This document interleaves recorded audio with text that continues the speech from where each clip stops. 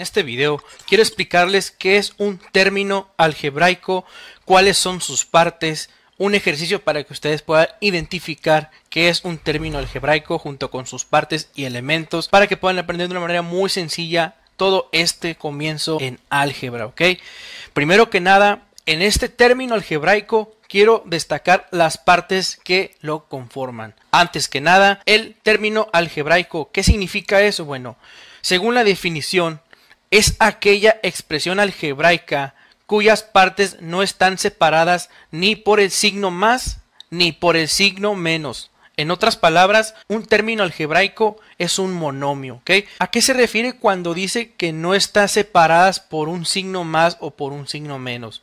Bueno, miren, aquí tenemos un monomio, una expresión algebraica, en donde se dice aquí menos 7x a la cuarta, ¿ok? Esto de aquí es un monomio, un término que no está siendo separado por ningún signo. Es decir, aquí aparece un signo, pero no está separado de otro signo. ¿A qué me refiero? Bueno, por ejemplo, si a este menos 7x a la cuarta le agrego esto, menos 25y, esto de aquí ya no es un término, ya serían dos términos. Es decir, este sería el primer término y ahora este sería otro término que los está separando ahora sí un signo menos o puede ser un signo más como ustedes vean. En este caso estamos viendo que están separadas por un signo que es el signo de menos. Entonces la definición es lo que nos dice. Es aquella expresión algebraica cuyas partes no están separadas ni por el signo más ni por el signo menos. Aquí sí está separadas y por eso eso ya no sería un término algebraico. Pero este solito este solito sí es un término algebraico. Entonces, quería destacar eso primero que nada para que mm, sepan qué es la definición antes de que empiece a dar todo eso del ejercicio y las partes, etcétera. Entonces, aquí tenemos un término algebraico que es menos 7x a la cuarta. Y bueno, pues yo quiero saber qué es cada una de las partes que lo conforman. Bueno, por ejemplo, aquí tenemos un signo menos, ¿sí? Puede ser un signo menos o puede ser un signo más. No hay otra cosa a la cual debamos destacar eso. Entonces, el signo, pues es el signo que es más o puede ser menos. Aquí en este caso, aquí es menos, ¿ok? Perfecto. Luego tenemos un número grande, ¿sí? Que es este de aquí. Este que vendría siendo aquí en el término. Bueno, este vendría siendo el coeficiente. El coeficiente su definición, así resumida, es el valor constante de una expresión algebraica. Muy bien, ya tenemos que es el signo, ya tenemos que es el coeficiente y ahora vemos aquí otra cosa que sería la variable. Cuando tú veas, ¿sí? cuando tú veas que hay una letra o dos letras o tres letras todos los que sean letras se les llama variables, ¿sí? Entonces aquí tenemos una variable x y pues una variable que viene siendo, así en resumidas cuentas, una variable es un elemento que puede tomar cualquier valor. Perfecto. Y por último tenemos un número que está acá arriba cuando está una variable o también puede estar en un coeficiente, ¿sí? Entonces, perfecto tenemos un número ahí, pero ¿cómo se llama o por qué está ahí? ¿Para qué sirve? Este número que está aquí arriba se le llama exponente, ¿sí? El exponente ¿qué viene siendo? Bueno, el exponente son las veces que se multiplica la variable por sí misma. Por ejemplo, aquí vemos x a la cuarta, significa que se está multiplicando esa variable x cuatro veces, ¿sí? Aquí sería x por x por x por x nos da x a la cuarta. ¿sí? Entonces, las partes que conforman son el exponente, que es el número que está chico y está arriba, las letras, que son las variables, los números, que son los coeficientes, y pues el signo, que sería más o sería menos. Perfecto, vamos muy bien. Entonces, ¿qué sigue ahora? Ahora voy a ponerles un ejercicio para que puedan identificar las partes de cualquier término, ¿ok? Vamos a empezar. Entonces, el ejercicio es el siguiente. Vamos a identificar de los términos que les voy a ir colocando sus partes, que son el coeficiente, su variable, su exponente y el grado que ahorita les voy a explicar qué es. Perfecto. Vamos a poner un ejemplo. Vamos a poner 8x por y a la quinta, ¿ok? Bueno, vamos a ver qué significa esto. 8xy a la quinta. Si bien notas cuando todo está pegadito, es decir, cuando el 8 está junto a una X y una X está junto a una Y, la Y está a un exponente a la quinta, dentro de ellos existe una multiplicación. Cuando veas que un coeficiente y una variable o una variable con otra variable están pegadas, significa que se están multiplicando, ¿verdad? Es por default y bien sabido que en matemáticas, en álgebra, se puede decir esto que está así. 8 por X por Y a la quinta, ¿verdad? Entonces, eso quería recalcarles. Y bien, de aquí, ¿cuál de estos viene siendo el coeficiente? Bueno, habíamos dicho que el coeficiente va a ser ese número que aparezca en el término. Es decir, en este caso, 8, ¿ok? Entonces el coeficiente va a ser 8. Perfecto. Ahora, vamos a identificar cuál de aquí es la variable. Puede haber más, puede haber solamente una. Entonces, en este caso, ¿cuántas hay? ¿Y cuáles son? Perfecto. La variable viene siendo la x y también la y. Por lo tanto, las variables son x y y. Muy bien, vamos perfecto. Ahora los exponentes. ¿Cuál de aquí viene siendo el exponente o los exponentes? Exactamente. El 5 de aquí es el exponente que está con Y. Pero les voy a decir algo, se les puede estar escapando. Que la X cuando está sin un exponente, en realidad en matemáticas ya se sabe que realmente hay un número 1, hay un exponente 1. Es decir, cuando ustedes vean un término o una variable que no tenga nada de exponente, realmente hay un exponente 1 ahí. Entonces, ¿qué exponentes tendríamos aquí? Bueno, sería el exponente de la x que es 1 y el exponente del y que es 5. Entonces los exponentes son 1 y el 5. Perfecto. Y ya por último, ¿qué es el grado? Bueno, el grado viene siendo la suma de los exponentes de cada variable, ¿ok? Es decir, de cada una de estas variables tenemos que sumarle sus exponentes y eso va a ser el grado del el término, ¿ok? Entonces, ¿cuál es el grado del término en este ejercicio? Bueno, sumamos el exponente que es 5 y el exponente que es 1. 5 más 1, ¿cuánto es? Pues es 6. Perfecto, vamos a anotar aquí 6.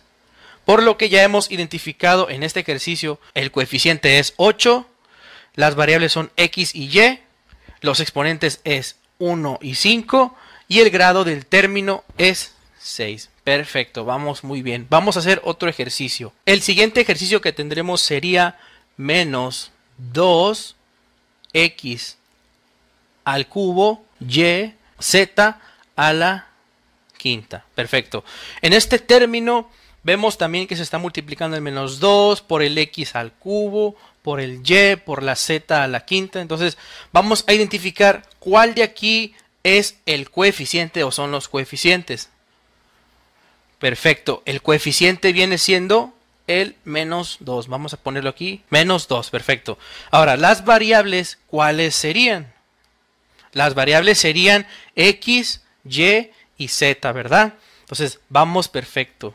Es x, y y z. Vamos a ponerlas aquí. Variables x, y y z. Perfecto. Ahora, los exponentes, ¿cuáles vendrían siendo? Recordemos que cuando vemos una variable que no tenga ningún exponente, ahí hay un 1, hay un exponente 1. Entonces, ¿cuáles vendrían siendo? Los exponentes vendrían siendo el 3, el 1 y el 5. Perfecto, vamos a anotarlos. El 3, el 1 y el 5. Muy bien. Y el grado de nuestro término, ¿cuál vendría siendo? Sumar los exponentes, que sería 3 más 1 más 5, pues sería 9. Por lo cual tenemos un término de noveno grado, ¿ok? Perfecto, vamos a pasar al siguiente ejercicio. El siguiente ejercicio vendría siendo una x sola, una variable sola. Esto también cuenta como término, aunque no parezca, aparecer nada más una letra, una variable Eso es un término también. Ahora vamos a identificar de aquí cuál es el coeficiente que aparece en este término. Bueno, les voy a decir otra cosa que también se les puede estar pasando. Cuando vemos una letra X sola, sabemos que hay un exponente 1 aquí, como les había comentado.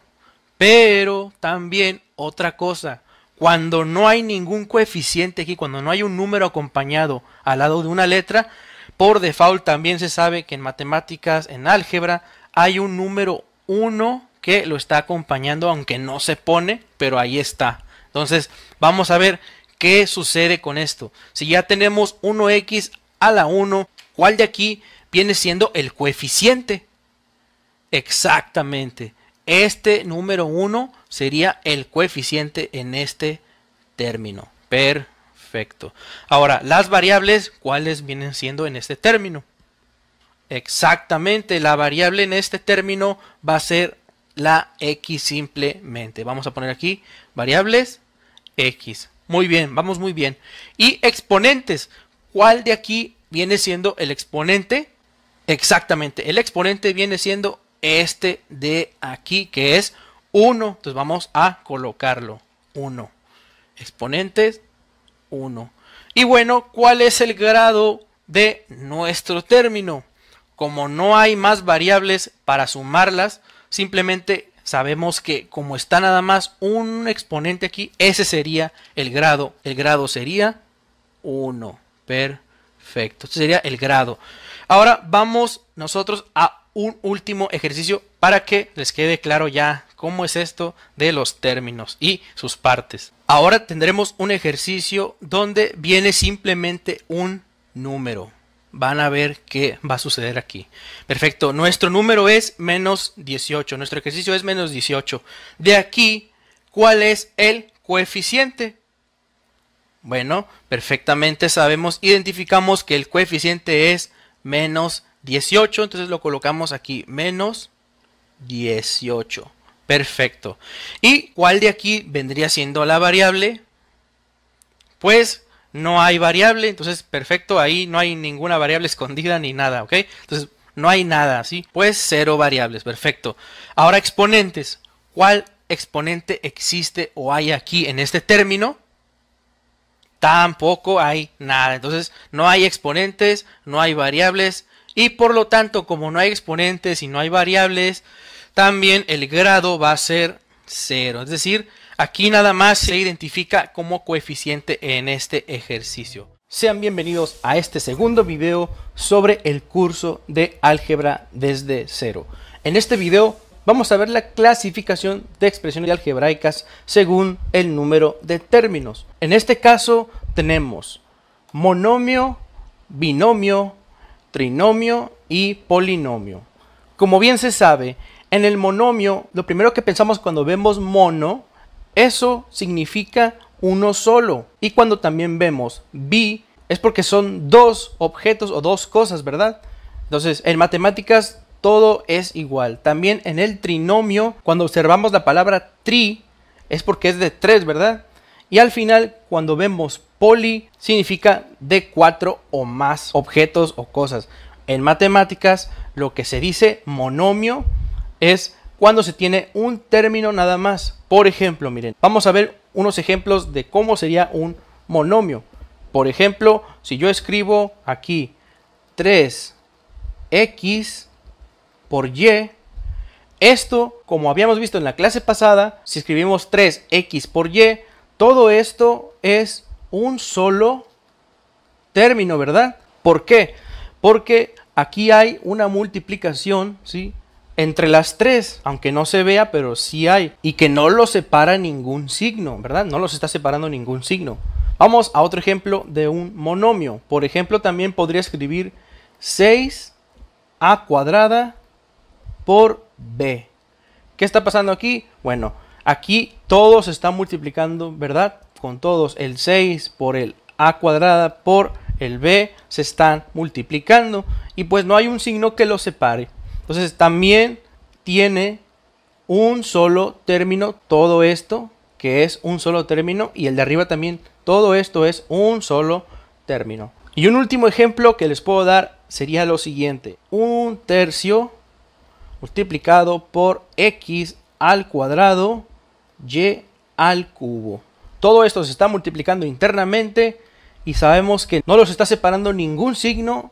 Por lo tanto, todo esto sería un término, ¿verdad? Entonces, vamos a pasar ahora a ver qué son los binomios. Los binomios sucede que ahí sí los va a separar un signo, ya sea más o ya sea menos. Por ejemplo, vamos a escribir aquí 3a cuadrada más 2b. Aquí ya los está separando un signo que sería este, el de más. Si se nota aquí, es un término y más otro término. Si se alcanza a notar que aquí ya van dos términos Exactamente, si se alcanza a notar aquí. ¿Por qué? Porque los está separando el signo de más. Entonces, vamos a pasar a otro ejemplo de cómo es un binomio. Otro ejemplo sería x al cubo más y a la cuarta. ¿Qué está pasando aquí? Bueno, que lo mismo que un término sería x al cubo más otro término que sería y a la cuarta. Entonces, dos términos sería también esto. O sea que estos son binomios. Ahora, los trinomios, ¿cómo se identificarían? También con el número de términos. Si tiene tres términos, son trinomios. Vamos a ver cómo sería un trinomio. Si yo les pongo lo siguiente, 3a más 4b menos 2c. Esto es un trinomio. ¿Por qué?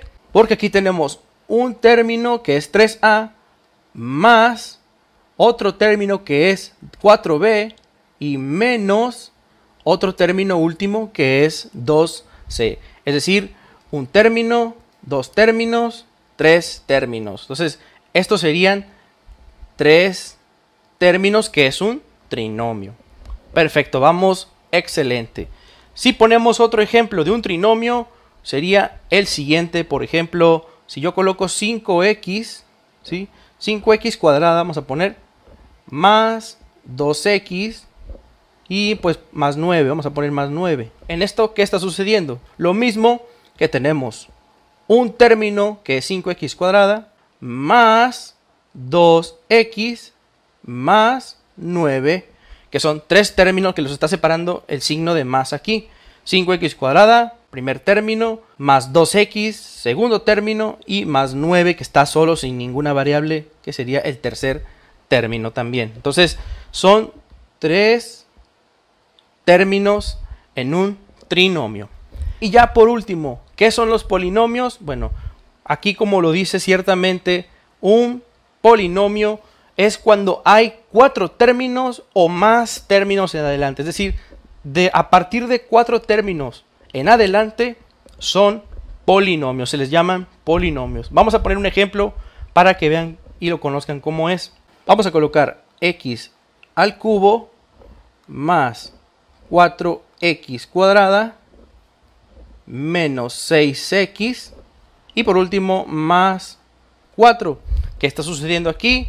Bueno, pues tenemos x al cubo, que sería el primer término, más 4x cuadrada, que sería el segundo término, menos 6x, que sería el tercer término, y por último, más el 4 que está allí, sería 4 términos, es decir, un término, dos términos, tres términos, cuatro términos. Por lo tanto, este se le llama polinomio, son Aquí aparecen cuatro términos. Vamos a ver un ejemplo más de qué es un polinomio.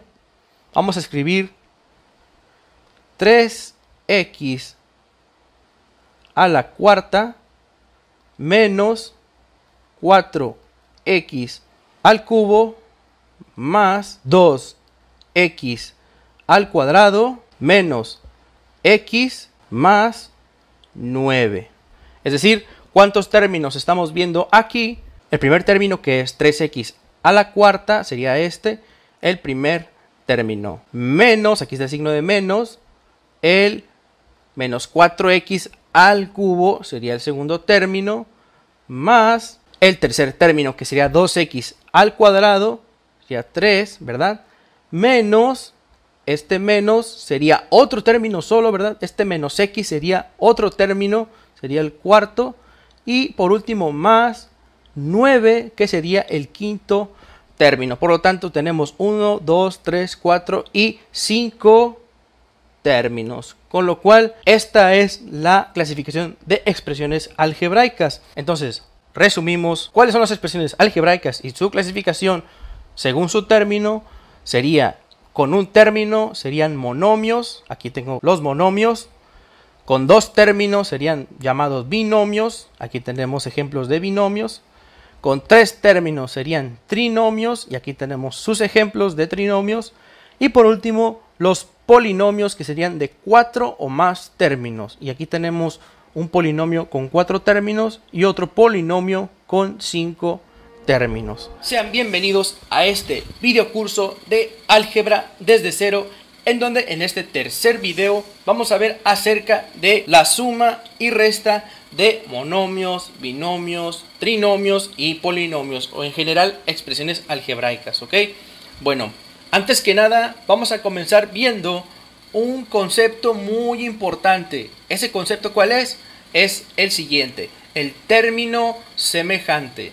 El término semejante seguramente es un concepto que has escuchado muy frecuentemente en tus clases, ya que tu maestro cuando va a hacer sumas algebraicas o restas algebraicas siempre te va a decir algo sobre el término semejante. Entonces yo quiero aclararte que qué es un término semejante.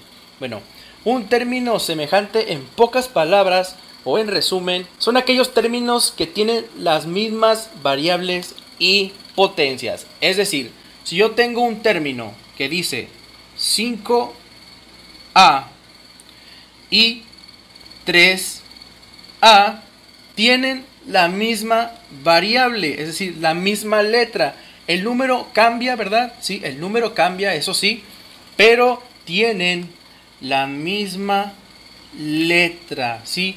Eso es un término semejante. Ahora te voy a mostrar otro más para que no te queden dudas. Otro término semejante sería, por ejemplo, poner 4x al cuadrado y 6x al cuadrado. Entonces, ¿cuál es el término semejante? En esto, bueno, pues que tienen la misma letra e incluso el mismo grado, ¿sí? la misma potencia. ¿Qué pasaría si en vez de que este fuera 2, fuera 4? ¿sí? Pues esto ya no sería un término semejante porque este ya tendría un 4 y este tendría un 2. Entonces ahí ya no existe un término semejante. Entonces ya vas entendiendo que es un término semejante Voy a ponerte un último ejemplo para que veas. Digamos si tuviéramos 6xy y 4xy. El término semejante aquí sería que tienen las mismas letras también, que sería x y y y x y y. Por ejemplo, si queremos sumar esto, 6xy más 4xy pues solamente queda de sumar sus números, que es la parte numérica, que sería 6 más 4 serían 10 y pues la X y la Y solamente se transcriben. Entonces, así serían los términos semejantes porque esto es muy importante a la hora de hacer sumas y restas algebraicas. Yo les quiero enseñar, ¿verdad? Sumas y restas, ¿verdad? Sumas y restas algebraicas, pero deben conocer antes las sumas aritméticas. ¿Cuáles son las sumas aritméticas? Las sumas aritméticas son aquellas sumas en donde no existen letras, ¿sí? Por ejemplo, 5 más 3, ¿sí? O también 8 menos 2, etcétera. Entonces, las sumas y restas normales serían las aritméticas. Y las sumas y restas algebraicas ya serían números con letras, ¿sí? Entonces, esa es la diferencia entre aritmética y álgebra. Voy a explicarles, como les dije primero, las sumas y restas normales. ¿Por qué? Porque a veces se pueden llegar a confundir con los signos. Los signos es algo que pueden llegar a tener problemas. Entonces, vamos a ver cómo es esto rápido para que no dure tanto el video. Digamos que me dicen suma o sumar 4 y 2. ¿Cómo se escribiría esto? Bueno, pues se escribiría de la siguiente manera. 4 más 2, ¿verdad? Y pues aquí sería normal. 4 más 2 son 6. Perfecto, eso lo tenemos bien claro. Pero ¿qué pasa en estos casos en donde queremos sumar lo siguiente? Si nos dicen sumar, digamos 2 y menos 7. Aquí puede haber un problema. Ahora, ¿cómo se colocaría sumar esto? dice que sumar 2 y menos 7. Entonces, ¿cómo escribo esto? Bueno, se escribe así. El 2, perfecto. El i significa como más, ¿verdad? Más. ¿Cómo se escribiría ahora esto? Menos 7. ¿Se escribiría así? No, ¿verdad? Estaría incorrecto hacerlo así. Entonces, ¿qué se debe hacer? Bueno, se debe colocar un paréntesis y colocar ahora sí el número que es negativo. Entonces, aquí ya hay algo en lo que debemos de tener claro. Siempre que vayas a sumar, ya sea con signos más y signos menos, sí podemos confundirnos al decir sumar, ¿verdad? Entonces, yo prefiero mejor decir unir porque a veces uno trae un signo menos, otro trae un signo más, etcétera. Entonces, es mejor decir unir para que no se me confundan. Entonces vamos a unir esto. ¿Cómo sería? 2 más menos 7. Imaginemos una recta numérica, ¿sí? En donde aquí tenemos el 0, ¿verdad? Y aquí tenemos 1, 2, 3. Bueno, esto lo utilizo para que vean de dónde sale y por qué. Entonces, vamos a ubicar bien. Si estamos con el número 2, comenzamos a partir de aquí, del número 2, ¿verdad?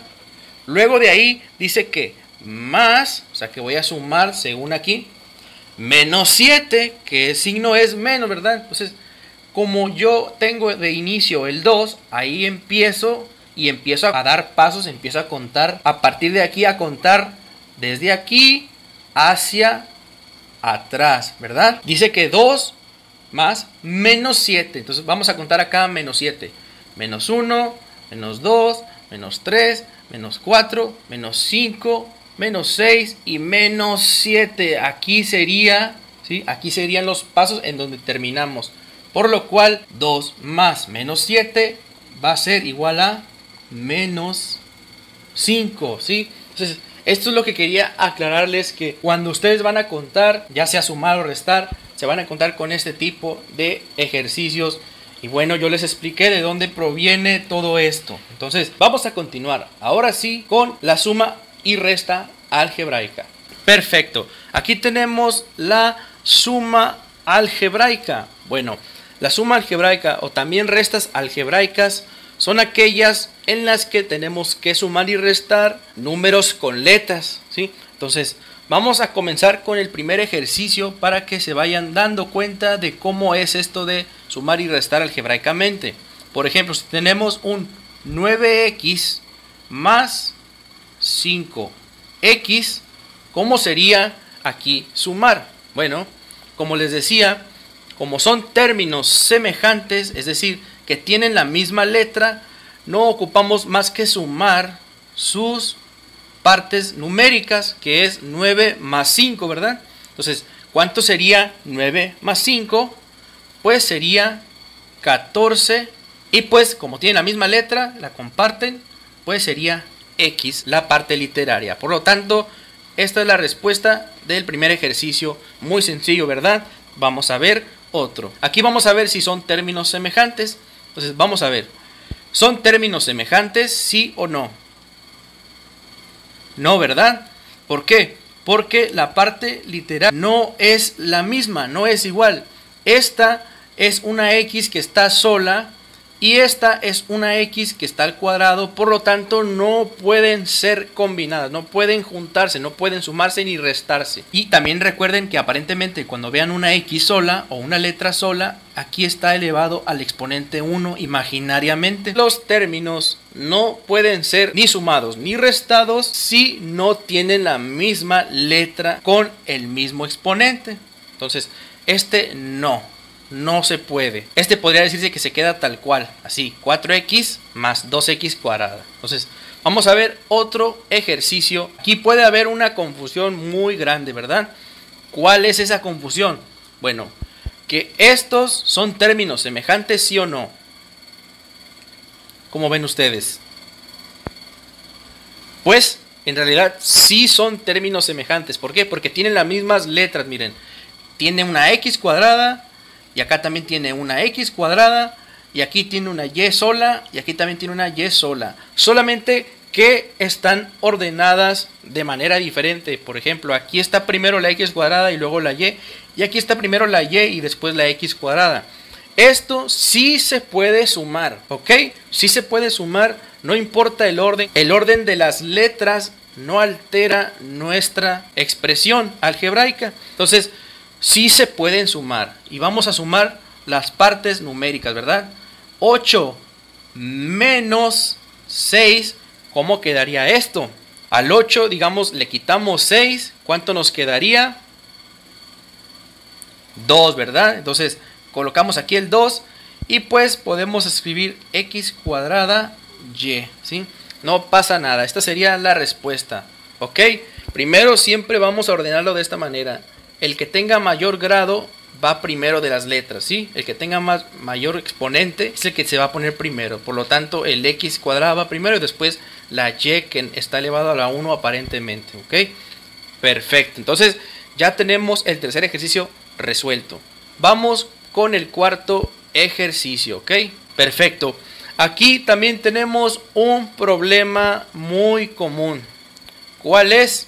Bueno, que aparecen paréntesis. Cuando aparecen paréntesis, tenemos que tener en cuenta la ley de signos. ¿Cuál es la ley de signos? Bueno, se la voy a mostrar. Aquí la tengo yo. Esta que les acabo de mostrar. Donde dice ley de signos aparece una multiplicación de signos. Por ejemplo, aquí.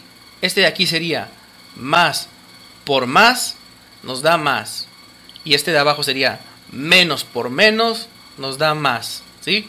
Y acá sería más por menos menos, y acá sería menos por más, menos. En pocas palabras, cuando aparecen signos iguales, siempre va a dar más. Si se fijan, aquí hay signos iguales multiplicados, y acá hay signos iguales multiplicados, siempre nos va a dar más. Y al revés, si los signos son diferentes, si se multiplican signos diferentes, siempre nos va a dar menos. Si se fijan aquí, más por menos, menos, y menos por más, menos, ¿ok? Eso es muy importante que lo sepan. Porque aquí se va a ocupar esto. Eso es muy importante. Si no, fíjense cómo se va a ir viendo. Vamos a resolver el cuarto ejercicio. Y bueno, ¿qué tenemos aquí en común? ¿Qué tenemos aquí como característica? Tenemos como característica que hay paréntesis, entonces hay que destruirlo, hay que destruir los paréntesis. Bueno, para destruirlos, ahora sí se utiliza la ley de signos. ¿Cómo? Bueno, simplemente multiplicamos los signos que están dentro de los paréntesis de los términos. Por ejemplo, este como es 2x, sabemos que por default es más, ¿verdad? Si no aparece un signo menos es porque es más, así de sencillo. Entonces, acá tenemos el signo de más, ¿verdad? Perfecto, entonces vamos a multiplicar el signo que aparece aquí, que es menos. Este lo va a multiplicar a todos los signos que están adentro de esta expresión algebraica, ¿ok? Vamos a comenzar. Primero transcribimos el 6x, ¿sí? el 6x cuadrada. Y ahora sí vamos a hacer lo siguiente. Menos por más. ¿Cuánto sería? Como dice la ley de signos. Dice que menos por más es menos. Entonces ponemos aquí menos, ¿ok? Vamos a poner aquí menos. ¿Sí? Perfecto. Y pues el término es 2x. ¿sí? Aquí nada más estamos multiplicando los signos. Eh, vamos a dejar tal cual los términos. Y ahora el siguiente es menos por más y es lo mismo. Menos por más, ¿qué dice aquí? Menos por más es menos, entonces también va a ser menos aquí. Vean, menos. Y el x cuadrada. Y así hemos eliminado los paréntesis fácilmente con la ley de signos. Ok, aprendas estas leyes de signos porque son muy importantes. Entonces, vamos a seguir haciendo esto. Esto quedó tal cual como las demás. Vamos a seguir resolviendo. Miren, esto es igual a. Vamos a sumar o restar, según sea el signo, los términos semejantes. ¿Cuáles de aquí tienen término semejante?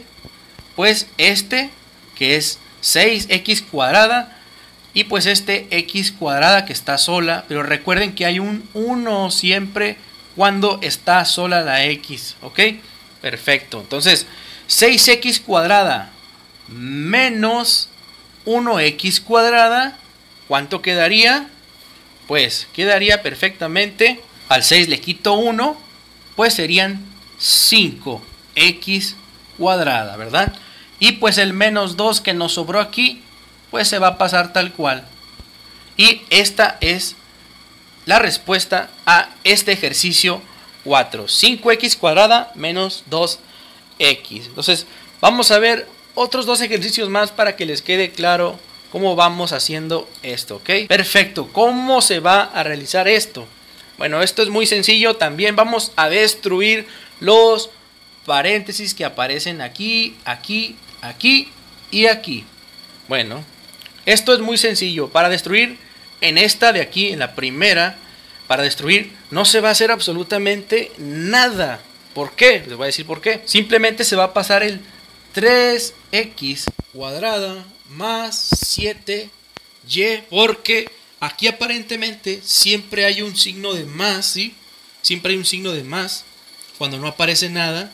Y aquí también hay un signo de más cuando no aparece un signo menos. Cuando no aparece un signo menos es porque hay más, ¿verdad? Aquí es lo mismo, más por más. Aquí aparentemente hay un más, ¿verdad? Pues es más. Vamos a poner aquí más. Más, perfecto. Y escribimos el 5x cuadrada. Perfecto. Y ahora, más por menos, ¿qué dice que es más por menos? Es menos, ¿verdad? Entonces escribimos tal cual, fíjense. Más por menos, pues es menos. Entonces queda igual, ¿verdad? No le movimos a nada tampoco, pero ya removimos los paréntesis. Entonces, ¿qué queda hacer aquí? Bueno, aquí es sencillo, simplemente vamos a buscar los términos semejantes. ¿Cuáles son los términos semejantes? Por ejemplo, este, 3x cuadrada, se podría mezclar claramente con el 5x cuadrada. Entonces ponemos aquí 3 más 5 son 8, ¿verdad? Y que x cuadrada porque tiene la misma letra y misma potencia. ¿Y cuál nos sobraría? Nos sobraría el más 7y y el menos 2y. ¿Se pueden sumar? Sí. ¿Por qué? Porque comparten la misma letra que es y, ¿verdad? Entonces, ¿qué vamos a hacer? Vamos a poner Vamos a sumar 7y menos 2y. ¿Cuánto sería? Al 7 le quito 2. 7 menos 2, 5, ¿verdad? Ponemos aquí, como es más, es positivo, 5y. Por lo tanto, esta es la respuesta del ejercicio número 5. Y vamos a ver un último ejercicio que es parecido a este, pero aquí sí va a aparecer un signo de menos en medio. Van a ver. Y ahí sí cambia un poco las cosas. Entonces tenemos este ejercicio. Es el último que vamos a realizar. 3a más 9b cuadrada menos, muy importante, menos 2a menos 5b al cuadrado. Cuando tengamos un signo menos antes, ¿sí? Cuando tengamos un signo menos antes del paréntesis, también va a multiplicar a todos los que estén adentro, ¿sí? Y en matemáticas por default ya se sabe que si hay un signo menos, como les estoy diciendo, aquí, atrás del paréntesis, por consecuencia va a cambiar los signos que tengan, los va a cambiar al revés. Ahorita van a ver por qué. Entonces, vamos a transcribir primero este primer binomio. Vamos a hacerlo aquí. Esto es igual 3a más 9b al cuadrado. ¿Por qué? Porque en el anterior ejercicio les había dicho que aquí hay un signo más y también aquí hay un signo más y todo queda mal, ¿verdad? No pasa nada. Pero este es el caso especial. Cuando hay un signo menos aquí, o en caso que también hubiera un signo menos acá, ¿verdad? Cambian las cosas. Entonces, ¿qué va a suceder con esto? Bueno, que este menos va a cambiar todo lo de adentro, ¿sí? Todos los signos que estén adentro. Por ejemplo, este es más, ¿verdad? Porque por default es más, aquí no hay un menos, entonces hay un más. Está solo, hay un más. Entonces vamos a multiplicar el menos por el más, menos por más, ¿cuánto es? Menos por más nos da menos. Entonces, aquí sería menos por más, menos. Aquí ya va a cambiarlo todo. Vamos a poner el signo de menos aquí. Menos. Y pues es 2a, ¿verdad? Perfecto.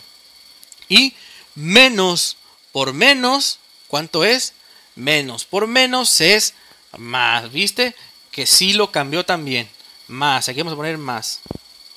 Más el 5b cuadrada. Entonces, ¿qué pasa con esto en estos casos? Bueno, que si hay un menos, va a cambiar al revés todo lo que esté adentro de los paréntesis. Por ejemplo, este es más, pasó a ser menos, y este es menos y pasó a ser más. Eso es lo que ocurre adentro cuando se aplican las leyes de signos, y esto es necesario porque se tienen que destruir los paréntesis, ¿verdad? Entonces, ya esto es lo más sencillo, queda hacer lo mismo que en los demás casos, que sería simplemente los términos semejantes, sumarlos o restarlos, y solamente quedaría aquí. El 3A se puede perfectamente sumar o restar con este que es menos 2A. ¿Por qué? Porque tienen la misma letra, ¿verdad? Son términos semejantes. Entonces, vamos a sumar esos. 3A menos 2A, ¿cuánto nos queda? Nos queda 1A. Pero recordemos que en matemáticas el 1A no se pone, se pone solamente A sola. ¿Sí? A. Perfecto. Y después tenemos ahora que se pueden sumar más 9b cuadrada con el 5b cuadrada porque comparten la misma letra y también el exponente también es igual. b cuadrada y b cuadrada. Entonces 9 más 5, ¿cuánto sería eso? Pues sería más 14b cuadrada. Con lo cual esta sería la respuesta de este sexto ejercicio de expresiones algebraicas, sumas y restas. Espero que con este video te haya quedado claro cómo es eso de sumar y restar, ya sean binomios, monomios, trinomios o polinomios. Es una manera muy sencilla que te puede ayudar para que puedas aprender todo esto del álgebra. En los siguientes videos voy a presentar cómo se pueden multiplicar y dividir las expresiones algebraicas y así puedas aprender a lo largo de este curso todo acerca de el álgebra. Sean todos bienvenidos a este nuevo video en donde estamos haciendo la continuación del curso de álgebra desde cero, en donde nosotros vamos a hablar acerca de la multiplicación algebraica, más que nada de un monomio por otro monomio, ¿ok? Entonces, ¿qué es un monomio? Ya habíamos visto anteriormente, pero aquí lo voy a explicar así de rápido. Es cuando tenemos un término, ¿sí? de esta manera. Esto ya es un monomio, también puede ser esto un monomio, miren, 2x cuadrada, esto también es un monomio, y pues también esto puede ser un monomio, 3ab cuadrada, o también podemos poner aquí cuadrado. Entonces, estos son monomios. En el momento que aparezca un signo de más o un signo de menos, por ejemplo aquí, 3x menos 6y, Aquí ya no es un monomio. ¿Por qué? Porque ya los está separando un signo. Ya son dos términos y por lo tanto solamente debe haber un término para que sea monomio. Ya cuando son dos términos ya se les llama binomios. Entonces esto ya no es un monomio. Así que quitamos esto y nos enfocamos en los monomios. Ahora en el video pues queremos saber la multiplicación algebraica de monomio por otro monomio. Entonces vamos a multiplicar monomios. Ahora sí vamos a empezar. Entonces quiero destacar primeramente dos cosas que se tiene que tener en cuenta. ¿Cuáles son? Bueno, son las siguientes.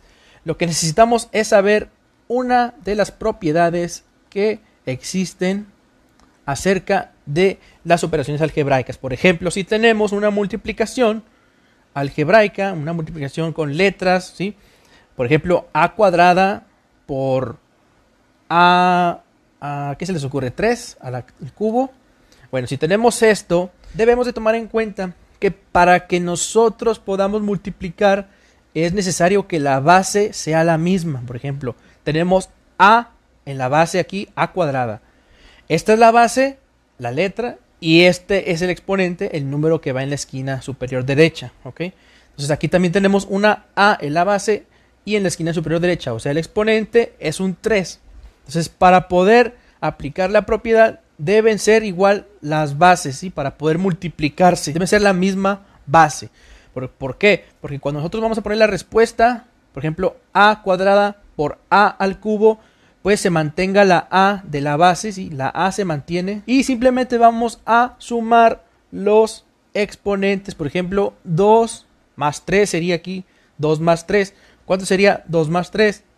5. Muy bien. Entonces, esta sería la respuesta de este pequeño ejercicio para mostrar la propiedad. Ya sabiendo las propiedades, también otro concepto que tenemos que tener en cuenta es el siguiente, la ley de los signos.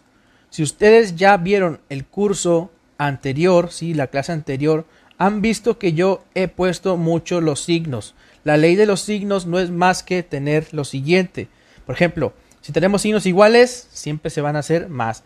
Y si tenemos signos diferentes, siempre van a ser menos. Miren, por ejemplo aquí, más por más nos da más. Y menos por menos nos da más. ¿Sí? Son signos iguales. Si se multiplican signos iguales, siempre va a dar más. Y caso contrario, con los signos diferentes, por ejemplo, más por menos siempre van a dar menos. Y menos por más va a dar menos. Si se alcanza a distinguir que signos iguales dan más y signos diferentes dan menos, ¿ok? Esos dos puntos los toco porque ustedes ya con esto van a poder aplicar las multiplicaciones o multiplicar más que nada algebraicamente. Por ejemplo, el primer ejemplo que les quiero dar es el siguiente. Tenemos 2a multiplicado por 4a a la 8, ¿ok? Perfecto.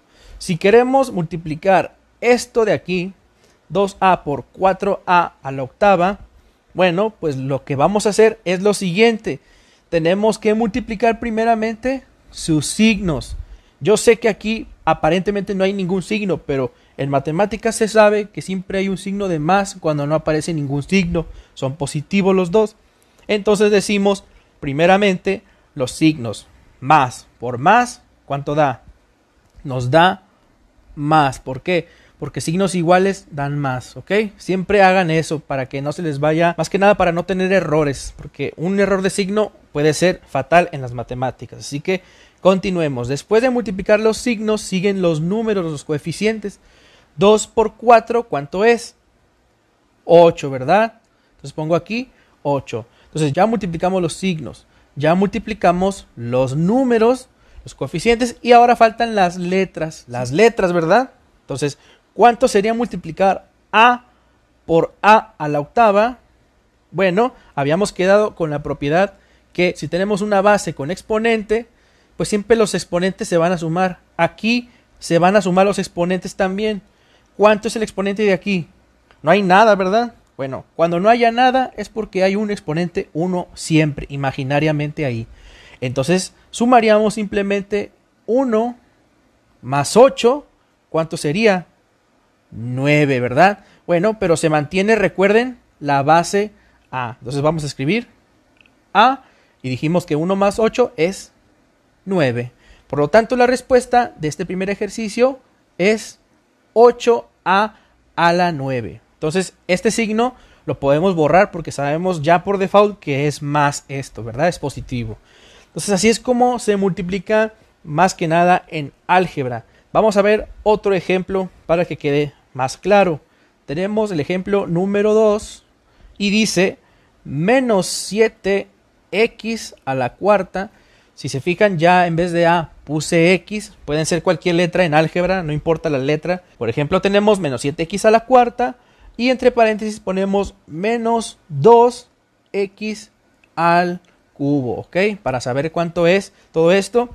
Ustedes se preguntarán por qué puse paréntesis en este y en este no. En matemáticas se tiene que poner paréntesis para separar este término porque este término es negativo. Si por ejemplo si quito este paréntesis lo quitara, si lo, si lo borro de aquí, sería ya una resta de monomios. Entonces no, tenemos que tener a fuerzas o encerrar este también entre paréntesis y este entre paréntesis para que sean multiplicación de monomios. ¿ok? Vamos a seguir. Primero habíamos quedado en que los signos debemos de multiplicarlos, ¿verdad? Por ejemplo aquí, ¿cuánto sería? Menos por menos sería más, porque aquí dice menos por menos es más. Entonces, menos por menos es más, lo ponemos aquí. Muy bien, ya después lo borramos. ¿Y ahora qué se tiene que multiplicar? Bueno, se tiene que multiplicar los coeficientes, los números. Sería 7 por 2, 14. Muy bien, vamos, excelente. Y por último, tenemos las letras. Sería x a la cuarta por x al cubo. ¿Cómo quedaría eso? Bueno, aplicando la propiedad, simplemente sumamos los exponentes y transcribimos la base x, ¿verdad? Se queda la x ¿Y cuánto sería 4 más 3? ¿Cuánto sería eso? 7, muy bien. Por lo tanto, tenemos ya la respuesta del segundo ejercicio que es 14x a la séptima. Y este más no es necesario ponerlo porque sabemos que es más si no hay nada, ¿ok? Muy bien. Vamos a ver más ejercicios para que les vaya quedando claro esto de multiplicación algebraica, ¿ok? El ejercicio 3. ¿Cuál es el ejercicio 3? Bueno, tenemos un 6a, ¿ok? A cuadrada b a la quinta, ¿ok? Y entre paréntesis el menos 3a al cubo. Muy bien. Esto es muy sencillo. Siempre iniciando con multiplicar lo que son los signos. Si no hay signo, significa que es un signo más, ¿verdad? Y multiplicamos los signos. Más por menos es menos, aquí dice más por menos es menos. Entonces ponemos aquí menos. Y ahora los números. 6 por 3, 18. Muy bien, 18 ponemos aquí. Y después tenemos a cuadrada y acá tenemos a al cubo. Simplemente mantenemos la base a y sumamos sus exponentes. 2 más 3, ¿cuánto sería? 5, muy bien. a a la quinta. Y aquí tenemos B a la quinta, pero acá no hay B. ¿Qué sucede en esos casos? Bueno, si no hay otra letra B, entonces ese simplemente se va a transcribir aquí tal cual, se queda tal cual. Es decir, no opera con nadie, pues se queda como está. Y la respuesta sería menos 18a a la quinta, b a la quinta. Entonces, perfecto. Aquí tenemos ya la respuesta del tercer ejercicio. Vamos a hacer un cuarto ejercicio y veremos qué otros casos nos podemos encontrar. Bueno, hay casos particulares como este que les voy a mostrar. Podemos poner a a la cuarta multiplicado por a por b. Vamos a poner un cuadrado aquí, ¿verdad? Y este sin nada, sin exponente. Y vamos a ver qué tal la resolvemos esta multiplicación. Bueno, ¿qué tenemos aquí? Bueno, tenemos este monomio a la cuarta multiplicado por a al cuadrado y una b sin ningún exponente, ¿verdad?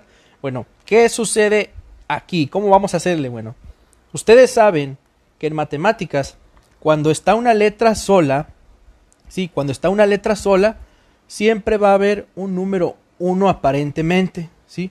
¿Ok? Nada más para que sepan. Y también que sepan que cuando tenemos una variable, una letra sola, sin ningún exponente es porque hay un exponente 1. Todo es imaginario. En matemáticas se omiten estas cosas y se dejan así. Entonces, ¿qué más notan ahí que falta? Exactamente. Aquí también está sola la A. Entonces vamos a ponerle un 1. Solamente estoy poniendo eso para que sepan. Y pues el B también, digamos que está solo, no tiene ningún número. Pues aquí también hay un 1. Pero vamos a ponerlos para que se enseñen ustedes por qué y para qué sirve esto. Entonces, tenemos a a la cuarta por a al cuadrado por b. Así se dice. Pero aparentemente está todo esto ahí sin que nosotros sepamos. Entonces, vamos a hacer ahora sí el ejercicio y decimos a a la cuarta por a al cuadrado. ¿Cuánto sería? Pues simplemente mantenemos la a, la base, y sumamos los exponentes 4 más 2 y nos da 6. Entonces es A a la sexta. Y ahora tenemos nada aquí, pero acá tenemos una B, ¿verdad? Entonces, ¿esa B qué va a pasar con esa B? Bueno, pues se va a pasar tal cual, así, ¿ok? Y sabemos que está elevado a la 1, pero no se pone, ¿ok? Entonces esta sería la respuesta sencilla de este cuarto ejercicio, ¿verdad? Ahora, vamos a ver el quinto ejercicio. Es muy sencillo también, es más sencillo todavía, pero quiero que sepan este concepto. Tenemos ahora x cuadrada multiplicado por x sola, ¿ok? ¿Qué sucede aquí? Bueno, tenemos x cuadrada por x. ¿Qué es lo que va a suceder? Bueno, lo que pasa es que aquí nada más tenemos letras multiplicándose y solamente uno tiene exponente, ¿verdad? Pero recordemos que tiene exponente una letra que esté sola, siempre está un 1 imaginariamente, ¿ok? Por lo tanto, aplicamos la propiedad, multiplicar una base con exponente por otra base con exponente y se queda la misma base y solamente se suman los exponentes. Aquí lo mismo va a ser. Se queda la base x, ¿verdad? Y recordemos que acá está un número 1 siempre aparentemente a la izquierda de las letras y por eso es x 1, por eso le llaman 1x por 1x es 1x. Si se dan cuenta es por eso. Vamos a omitirlo, vamos a borrarlo. Y tenemos los exponentes 2 más 1. ¿Cuánto es 2 más 1? Es 3. Por lo tanto, esta ya sería la respuesta de este quinto ejercicio. x cuadrada por x es x al cubo, ¿ok? Te voy a dejar unos ejercicios de práctica para que ustedes puedan realmente practicar en sus casas este tipo de ejercicios y van a aparecer en pantalla. Sean bienvenidos a un video más de este video curso de álgebra desde cero, en donde hablaremos acerca de las multiplicaciones en concreto de un binomio por otro binomio. Aquí tenemos el primer ejemplo que dice x más 5 por x más 2. Para resolver esto ya deben de haber visto qué es un término, cómo es un término, cuáles son y cuál es un binomio, cuál es un trinomio, etc. Si no los has visto, pues te invito a retroceder en este video curso para que los veas. Así que en conocimiento previo de todo eso que hemos visto, vamos a aplicar los binomios multiplicados por otros binomios, ¿verdad? Entonces comenzaremos rápidamente con el primer ejercicio.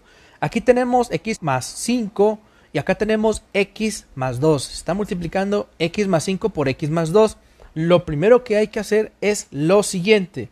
Hay que multiplicar este término ¿sí? con el primero y después este término con el segundo y después nos pasamos con este término, con este término y también este término por este término. Y va a quedar de la siguiente manera, ¿ok? Tenemos que siempre identificar los signos. Todos son signos de más en este ejercicio, ¿verdad? Todos aparentemente tienen un signo de más en la izquierda suya. Entonces, ¿Qué vamos a hacer siempre? Bueno, ya después de colocar los signos de todos o identificar los signos de todos, entonces comenzando a multiplicar el x por el x, como lo dice aquí, bueno, primero tenemos que multiplicar los signos. Recuerden que para multiplicar algo siempre hay que multiplicar primeramente los signos. Por lo tanto, más por más, ¿cuánto es? Es más. No se pone, no se acostumbra a poner, pero lo pongo para que ustedes sigan distinguiendo de dónde vienen estos signos, ¿ok? Perfecto. Entonces decimos ahora sí las letras x por x es x cuadrada, ¿ok? Perfecto. Y ahora tenemos el mismo x, ahora multiplica al número 2, ¿verdad? Pero primero los signos. Más por más, ¿cuánto es? Es más. Muy bien. Y ahora sí, x por 2, ¿cuánto es? Bueno, pues se juntan simplemente 2x. Cada vez que te toque multiplicar una variable por un número, solamente los vas a juntar, los vas a, unir. En este caso, el 2 va primero y después va el x. Siempre va primero el coeficiente, el número y después va la letra, la x. Muy bien. Hemos hecho lo que es la multiplicación de este por este y de este por este. Ahora vamos a pasarnos con el más 5. ¿Ok? Y va a multiplicar a este y después a este. Perfecto. Vamos a ponerlos en colores para que se vayan distinguiendo. Decimos 5 por x, pero primero los signos, ¿verdad? Más por más es más, muy bien, más. Y 5 por x, habíamos quedado que primero el número y después la letra, el primero el coeficiente y después la variable. Y ahora tenemos 5 por 2, ¿verdad? Pero primero los signos, más por más es más, muy bien. Y ahora 5 por 2, ¿cuánto es? Es 10. Muy bien, perfecto. Al fin hemos terminado de multiplicar, pero no podemos dejarlo simplemente así. Esto que tenemos aquí es una suma, pero se tienen que sumar los términos semejantes. Ya habíamos visto eso anteriormente. Recordemos que los términos semejantes son esos términos que se pueden unir, tienen algo en común. Por ejemplo, este que está aquí, que es x cuadrada, no hay otro más que tenga cuadrado, ¿verdad? No hay otro cuadrado aquí. Entonces, si está el cuadrado únicamente este, no se puede mezclar con ninguno de los demás. Pero si, por ejemplo, este tuviera un cuadrado, entonces sí podría sumarse con ese, pero no, no se puede con ninguno. Entonces, ese se pasaría tal cual. El x cuadrado no hace nada, ahí se va a quedar así. Pero aquí tenemos dos que tienen algo en común. Es decir, este 2 tiene acompañado una X y este 5 tiene acompañado una X. Es decir, pueden formar una pareja. Entonces, ¿qué sería? Más 2 más 5, ¿cuánto sería? Más 7, ¿verdad? Son positivos. Y pues la X que está en común, pues es la que se queda tal cual. Entonces terminan juntos estos dos, terminan formando un 7 entre ellos dos, un 7X. Muy bien. Y este 10 está solo, ¿verdad? No tiene ninguna variable, no, no tiene ninguna letra. Por lo tanto, pues no hay otro parecido a él, no hay uno semejante. Entonces también se pasaría tal cual el 10. Por lo tanto, la respuesta de este ejercicio de binomio por binomio es la siguiente. x cuadrada más 7x más 10. Vamos a ver otro siguiente ejercicio para que vayan viendo cómo se hacen los demás. Entonces, para empezar rápidamente, este sí lo vamos a resolver rápido para que vayan viendo cómo se van haciendo. Entonces, tenemos x por x y también x por 5. Y acá tendríamos 8 por x y 8 por 5, ¿ok? Vamos a hacer este ejercicio rápidamente. Empezamos multiplicando x por x, pero recuerden que los signos son más por más. Primero se multiplican los signos, es más. Más por más es más. Y x por x, x cuadrada, ¿ok? Y tenemos ahora x por 5, recordemos los signos primero, más por más es más. Y decimos x por 5 es 5x. Muy bien.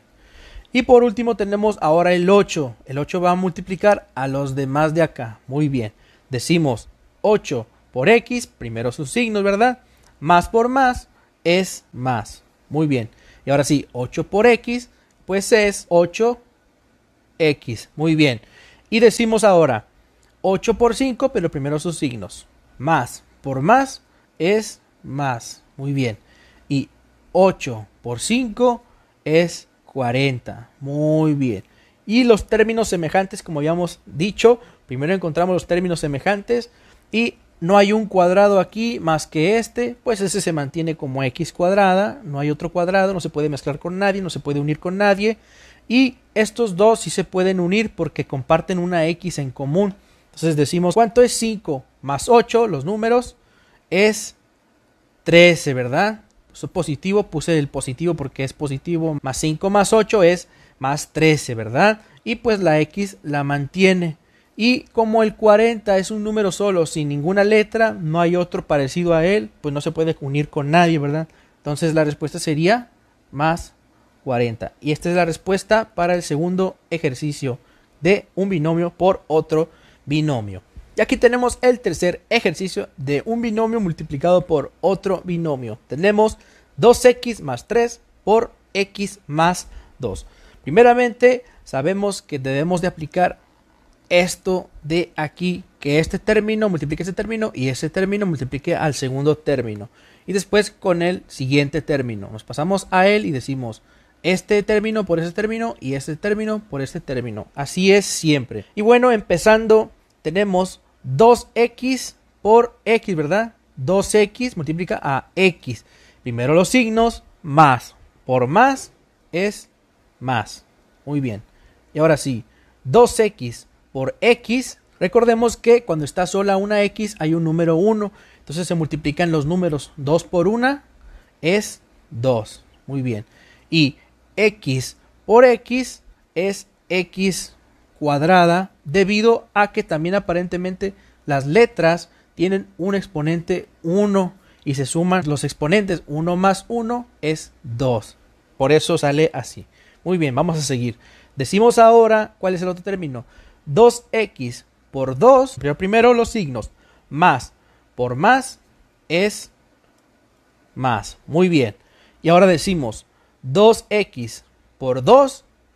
Bueno, pues 2 por 2 es 4 y la x pues se mantiene. Muy bien. Ahora, tenemos ahora el siguiente término. El 3 va a multiplicar a todos los términos de acá.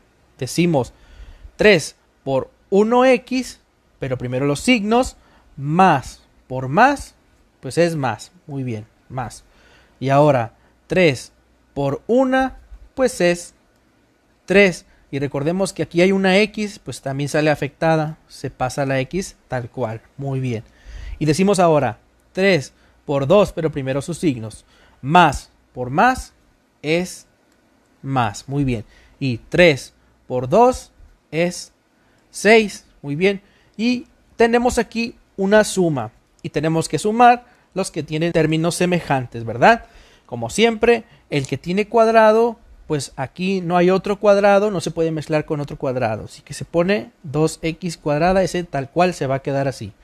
Pero estos tienen en común una x, ¿verdad? Entonces, eso sí se pueden mezclar. Entonces decimos, como es positivo, ¿cuánto sería? Más 4 más 3, ¿cuánto sería? 7, muy bien. 7 y pues la x la pasamos tal cual porque es la acompañante de los dos. Muy bien. Y por último tenemos este 6, que pues no hay nadie aquí que esté solo, sin letra. Es la única así, por lo tanto se pasaría tal cual. Ponemos más 6. Y este sería el resultado de este ejercicio de binomio por binomio, ¿ok? Sean bienvenidos a este nuevo video en donde lo haremos acerca del tema de la división algebraica, ¿ok? Ese es un problema que han tenido muchos estudiantes de cómo se puede dividir una división realmente, pero que son algebraicas. Entonces, este método que les voy a enseñar yo se puede realizar cualquier división algebraica, ¿sí? Con este método, pero obviamente sabiendo cómo hacerlo y cómo acomodarlo. Entonces, vamos a ver este caso en donde tenemos x cuadrada más x menos 20 entre x más 5 que bien podría estar escrito de esta manera, miren, podría estar así como x cuadrada más x menos 20 entre todo eso x más 5. Así podría aparecerles. Entonces, quiero realmente resolverles esta duda que tienen de cómo se resuelven estas divisiones algebraicas. Bueno, primero que nada vamos a ver algo que es muy importante de saber. ¿Qué es eso? Bueno, es lo siguiente, la ley de signos. La ley de signos nos dice que más por más es más y menos por menos es más y menos por más es menos y más por menos es menos. Es decir, si hay signos iguales siempre va a dar más, ¿ven? Y cuando hay signos diferentes siempre va a haber menos, ¿verdad? Menos por más menos y más por menos menos. Entonces, vamos a ver aquí qué es lo que se debe hacer para poder realizar esta división. Bueno, el primer paso, ¿qué es? El primer paso es el primer término que tengas, ¿sí? El primer término que tengas aquí, que en mi caso es x cuadrada, lo voy a dividir entre el primer término que aparezca en el divisor. Aquí hay dos términos, el x más 5, cada uno es un término diferente. Puede haber solamente un término, pero en este caso hay dos términos o puede haber tres. Entonces, el primer término que aparezca se va a dividir con este término, el primero que aparezca aquí. Entonces, aquí a un ladito vamos a hacer eso y ponemos x cuadrada entre x. ¿sí? x cuadrada entre x. Vamos a ponerlo aquí. Dividimos x cuadrada entre x. ¿Cuánto nos da? Bueno, pues aquí aparentemente hay un 1, ¿sí? Un exponente 1. Cuando no hay nada aquí de exponente, es porque hay un exponente 1. Entonces, ¿qué se va a hacer? Bueno, simplemente vamos a transcribir la x y vamos a restar los exponentes. El de arriba menos el de abajo. Decimos 2 menos 1, ¿cuánto es? Es 1, ¿verdad? Pero lógicamente no se pone el 1. Así que simplemente se deja como x sola. Muy bien. Ese x que nos salió de esta división de x cuadrada entre x, la vamos a colocar aquí en la respuesta. Vamos a colocarlo aquí. Ponemos x. Muy bien. Ahora, ¿qué sigue después? Esto que nos apareció como respuesta, que pusimos como respuesta x, ese término tenemos que multiplicarlo por cada uno de ellos. Entonces, ¿qué vamos a hacer primero? Bueno, vamos a multiplicar x por x y luego después x por 5. Pero, lógicamente, primero hay que multiplicar los signos. Ahora, algo muy importante que tenemos que saber en este paso, que es, bueno, que cada vez que tengamos que multiplicar los signos de aquí, ¿sí? O los términos de aquí, siempre se va a invertir el signo al final. ¿Ok? Ahorita van a ver un ejemplo. Por ejemplo, aquí. Vamos a multiplicar x por x. Pero sabemos que aquí hay un signo de más, ¿verdad? Y aquí también hay un signo de más aparentemente. ¿Qué hacemos? Bueno, multiplicamos más por más. Nos dice que es más, ¿verdad? Más por más nos da más. Pero como les dije al principio, siempre hay que invertir al final lo que nos salga. Por ejemplo, más por más nos da más, pero lo invertimos y va a ser menos. Pues ponemos aquí menos, ¿verdad? Ok, ahora sí, x por x, ¿cuánto es? x cuadrada, ¿verdad? x cuadrada. Muy bien, perfecto. Ahora, ¿qué sigue? Bueno, ahora hay que multiplicar otra vez este, pero ahora con el segundo término que es 5. Entonces, primero con los signos. Más por más, ¿cuánto es? Más por más es más. Pero en este paso tiene que invertirse siempre el signo al final. Entonces es menos. Perfecto, muy bien. Entonces decimos, ahora sí, x por 5, pues es 5x. Lo colocamos aquí perfectamente. Muy bien, vamos perfecto. ¿Qué sigue después de esto? Bueno, vamos a restar o sumar según sea el caso. Vamos a poner una raya aquí. ¿sí? Una raya aquí de resta. Y vamos a sumar o restar según sean los signos. Por ejemplo aquí, x cuadrada menos x cuadrada pues es cero, ¿verdad? Porque es como decir 3 menos 3, ¿cuánto es eso? Pues es 0. Pues lo mismo aquí, x cuadrada menos x cuadrada, pues nos da 0. Es cuando dicen que se elimina. Entonces aquí se elimina, perfecto. Ahora, ¿qué sigue después? Ahora estos dos términos. ¿Cuánto es más x menos 5x? Es menos 4x, ¿verdad? ¿Sí? Si ustedes tienen problemas para poder sumar y restar al mismo tiempo o cuando se tienen que mezclar, en este caso, les voy a dejar un video aquí en la tarjetita en la esquina para que puedan identificar cómo es eso de saber sumar y restar aritméticamente para que no se me confundan. Entonces, aquí nos dio menos 4x, ¿ok? Muy bien. Perfecto, ya nos quedó aquí. ¿Qué sigue ahora? Bueno, ahora lo que vamos a hacer es este menos 20 lo vamos a bajar aquí, ¿ok? Perfecto. bajamos el menos 20. Muy bien. Vamos a borrar esto de aquí. Perfecto. ¿Cuál es el siguiente paso? Vamos a hacer lo mismo que repetimos en el principio. Es decir, este término de aquí lo vamos a dividir entre el primer término que aparece acá. Siempre es así. ¿Ok? Entonces, vamos a hacerlo a un ladito también. Vamos a borrar esto. Dijimos, ¿cuál es el primer término que aparece aquí? Bueno, es menos 4x. Ese menos 4x lo voy a dividir entre el más x que aparece aquí. Vamos a escribirlo aquí. Perfecto. Menos 4x entre más x. Pongo el más x para que sepan los signos, más o menos se los vayan aprendiendo. Pero en realidad no se pone el signo de más cuando es positivo, ¿ok? Perfecto. Entonces, ¿qué ocurre aquí? Bueno, aquí aparentemente hay un 1, ¿sí? Y siempre también aparentemente hay un exponente 1 aquí. Entonces es 1x a la 1, ¿verdad? Entonces, ya sabiendo eso, ahora sí vamos a dividir perfectamente. Entonces, dividimos primero los signos. Menos entre más es menos, ¿ok? ¿Por qué digo que es menos? Bueno, hay unas leyes de signos también para las, para las divisiones. Así como hay leyes de signos para multiplicar, también hay leyes de signos para las divisiones, que pues viene siendo lo mismo. Por ejemplo, aquí miren, aquí dice menos entre más es menos, Y aquí, menos por más es menos. O sea, viene siendo lo mismo. Entonces, vamos a colocar aquí el signo de menos y lo que sigue. 4, ahora los números. 4 entre 1, ¿cuánto es? Pues siempre va a dar el mismo número, ¿verdad? 4. Perfecto, muy bien. Y ahora x entre x, pues prácticamente aquí también hay un 1. Entonces decimos el exponente de arriba menos el de abajo. 1 menos 1, pues nos da 0. Total, la x desaparece, como dicen ahí, se elimina. Entonces, ¿qué nos quedó? Nos quedó menos 4. Perfecto. Ese menos 4 también lo vamos a poner acá arriba, ¿sí? Perfecto. ¿Y qué va a hacer ese menos 4? Bueno, ese menos 4, como la vez pasada, va a multiplicar a los términos que aparezcan en el divisor. Entonces, primero, menos 4 por el más x, ¿ok? Y vamos a escribir la respuesta aquí. ¿Qué hacemos? Bueno, primero los signos. Menos por más es menos, ¿verdad? Pero se va a invertir en este paso, hay que invertir el signo. Entonces, en vez decimos menos por más, es menos, pero invirtiéndolo nos va a dar más. Perfecto. Muy bien. Ahora, el 4 multiplicado por el x nos da 4x, ¿ok? Simplemente se juntan. Cuando multipliques un número por una letra, pues se junta nada más 4x. Muy bien.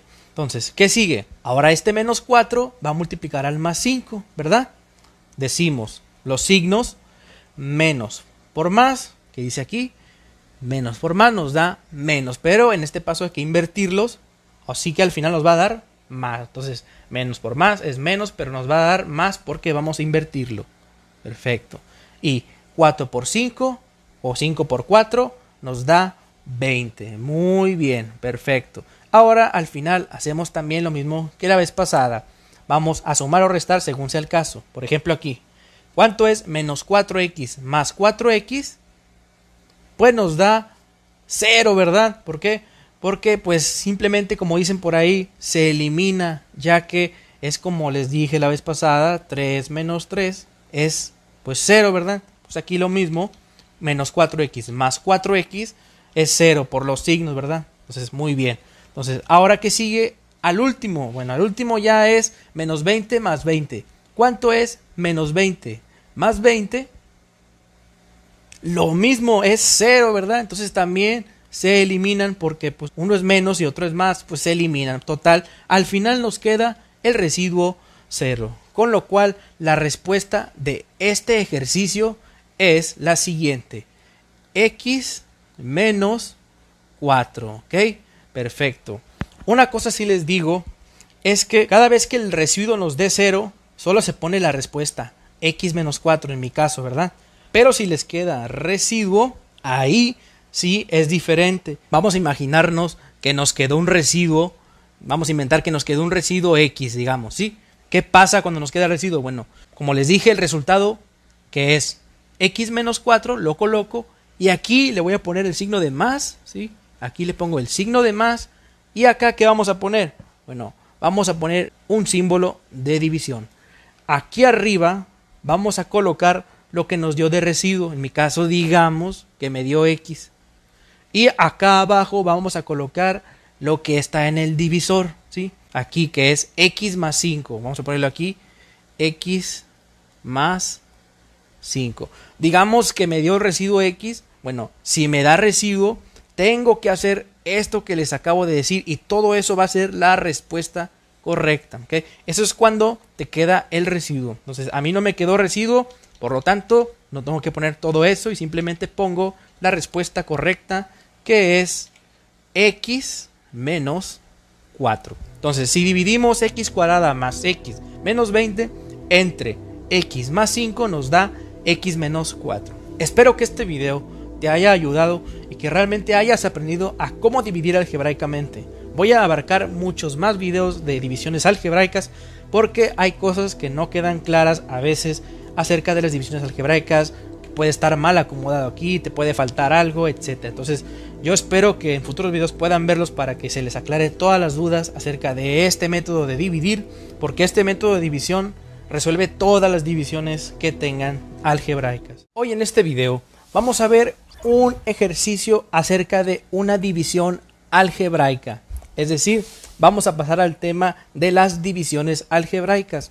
Este tema es un poco complicado para las personas que apenas van comenzando el álgebra o que ya tienen tiempo en álgebra pero se les complica a veces dividir.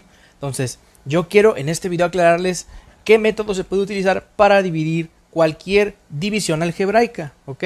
Entonces, con este método les voy a ayudar. Prestando atención primeramente, hay una serie de reglas que debemos obedecer. ¿Cuáles son? Bueno, para hacer este método necesitamos saber la regla de los signos. ¿Qué nos dice? Las leyes de los signos nos dice que más por menos es menos, menos por más es menos. Si notan aquí, son signos diferentes, siempre da menos. Y acá, signos iguales siempre dan más. Menos por menos es más y más por más es más. Entonces, esto hay que tenerlo bien claro para poder nosotros realizar esta división algebraica. Entonces, ¿qué es el primer paso que vamos a hacer? Bueno, el primer paso es este primer término que tengamos, en mi caso es 4x cuadrada, tengo que dividirlo entre el primer término que aparezca aquí. Siempre es así. Tú vas a dividir el término de adentro entre el primer término que aparece en la parte del divisor, ¿ok? Entonces, voy a dividir aquí un ladito, 4x cuadrada entre, ¿entre qué? Entre el 2x. Entonces, vamos a dividir eso. 2x. Entonces, lo primero que dividimos es la parte numérica, ¿sí? ¿Cuánto es 4 entre 2? Nos da 2, ¿verdad? Colocamos aquí el 2. Y ahora, ¿cuánto es x cuadrada entre x? ¿Cuánto es eso? Bueno, pues simplemente es restamos el exponente de arriba menos el exponente de abajo, que aparentemente hay un 1 cuando no hay ningún exponente. Entonces decimos 2 menos 1, pues queda. Entonces se coloca nada más la x, la x sola, ¿verdad? Perfecto. Esta es la respuesta de lo que les decía, 4x cuadrada entre 2x. Esta es la respuesta 2x. Y ese 2x lo vamos a colocar aquí arriba. Vamos a colocarlo. 2x. Perfecto. Ahora, ¿cuál es el segundo paso? Bueno, el segundo paso es el siguiente. Vas a multiplicar el 2x, ¿sí? tu respuesta, por cada término que tengas aquí. Por ejemplo, yo tengo dos términos. Sería multiplicar 2x por 2x y después sería multiplicar 2x por menos 3. ¿sí? Entonces vamos a realizarlo. Vamos a borrar esto de aquí. Y ahora sí multiplicamos el 2x por el primer término que es 2x, ¿ok? Entonces, primeramente les voy a aclarar algo aquí muy importante. Cada vez que multipliquemos aquí este término con este término o cualquier término en este paso, siempre tenemos que invertir el signo que nos salga. Por ejemplo, aquí miren, aquí es signo de más, ¿verdad? Aparentemente, por default se sabe que es más. Y este también, por default, es más. Entonces, ¿qué vamos a hacer primero? Multiplicamos los signos. Más por más, ¿cuánto nos da? más, ¿verdad? Pero, como les dije, aquí hay que invertir el signo. Lo que nos salga lo vamos a invertir. Por ejemplo, a, nosotros nos salió en la multiplicación de signos aquí, nos salió más. Por lo tanto, vamos a poner menos, hay que invertirlo. Siempre es así, ¿ok? Siempre, no se les olvide ese paso. Perfecto. Ahora, ¿qué sigue? Seguimos multiplicando ahora los números, que es 2 por 2, ¿cuánto es? Es 4. Perfecto, muy bien. Y al final las letras.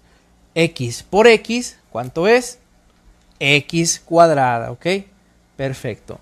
¿Y ahora qué sigue? Bueno, este mismo término, este resultado, vamos a multiplicarlo ahora por el segundo término, que es menos 3. Entonces, recuerden los signos. Primeramente multiplicamos los signos. Más por menos, ¿cuánto dice que es? Más por menos es menos, ¿verdad? Pero lo invertimos, recuerden, hay que invertirlo. Nos dio menos, pero hay que invertirlo. Y va a ser ahora más. Perfecto. Ahora los números. 2 por 3 es 6, ¿verdad? Entonces ponemos aquí 6. Y como pues no tiene x este 3, simplemente pasamos solo x que quedó ahí. Perfecto. Entonces 2x por 3 son 6x, ¿verdad? Perfecto. Entonces, ¿cuál es el siguiente paso? Bueno, el siguiente paso es resolver esto que nos puede quedar como suma o resta. Por ejemplo, aquí 4x cuadrada menos 4x cuadrada, aquí se elimina. ¿Por qué? Porque es como decir, un ejemplo, 3 menos 3, pues es 0, ¿verdad? Pues lo mismo aquí, 4x cuadrada menos 4x cuadrada, pues va a dar 0. Por lo tanto, se elimina. Vamos a ponerlo aquí, que se eliminó. Perfecto. Muy bien. Y ahora los que siguen son estos, que es menos 4x más 6x. ¿Cuánto nos da eso? Bueno, pues nos da 2x positivo, ¿ok? Entonces, esto nos va a quedar así. ¿Y ahora qué hay que hacer? Bueno, pues simplemente vamos a bajar el último término que nos queda. Hay que bajarlo. Perfecto. Lo bajamos. El menos 3. Muy bien. Ahora, ¿qué es lo que sigue hacer? Bueno, vamos a repetir el mismo paso. Este 2x de aquí, vamos a dividirlo ahora por el primer término como la vez pasada.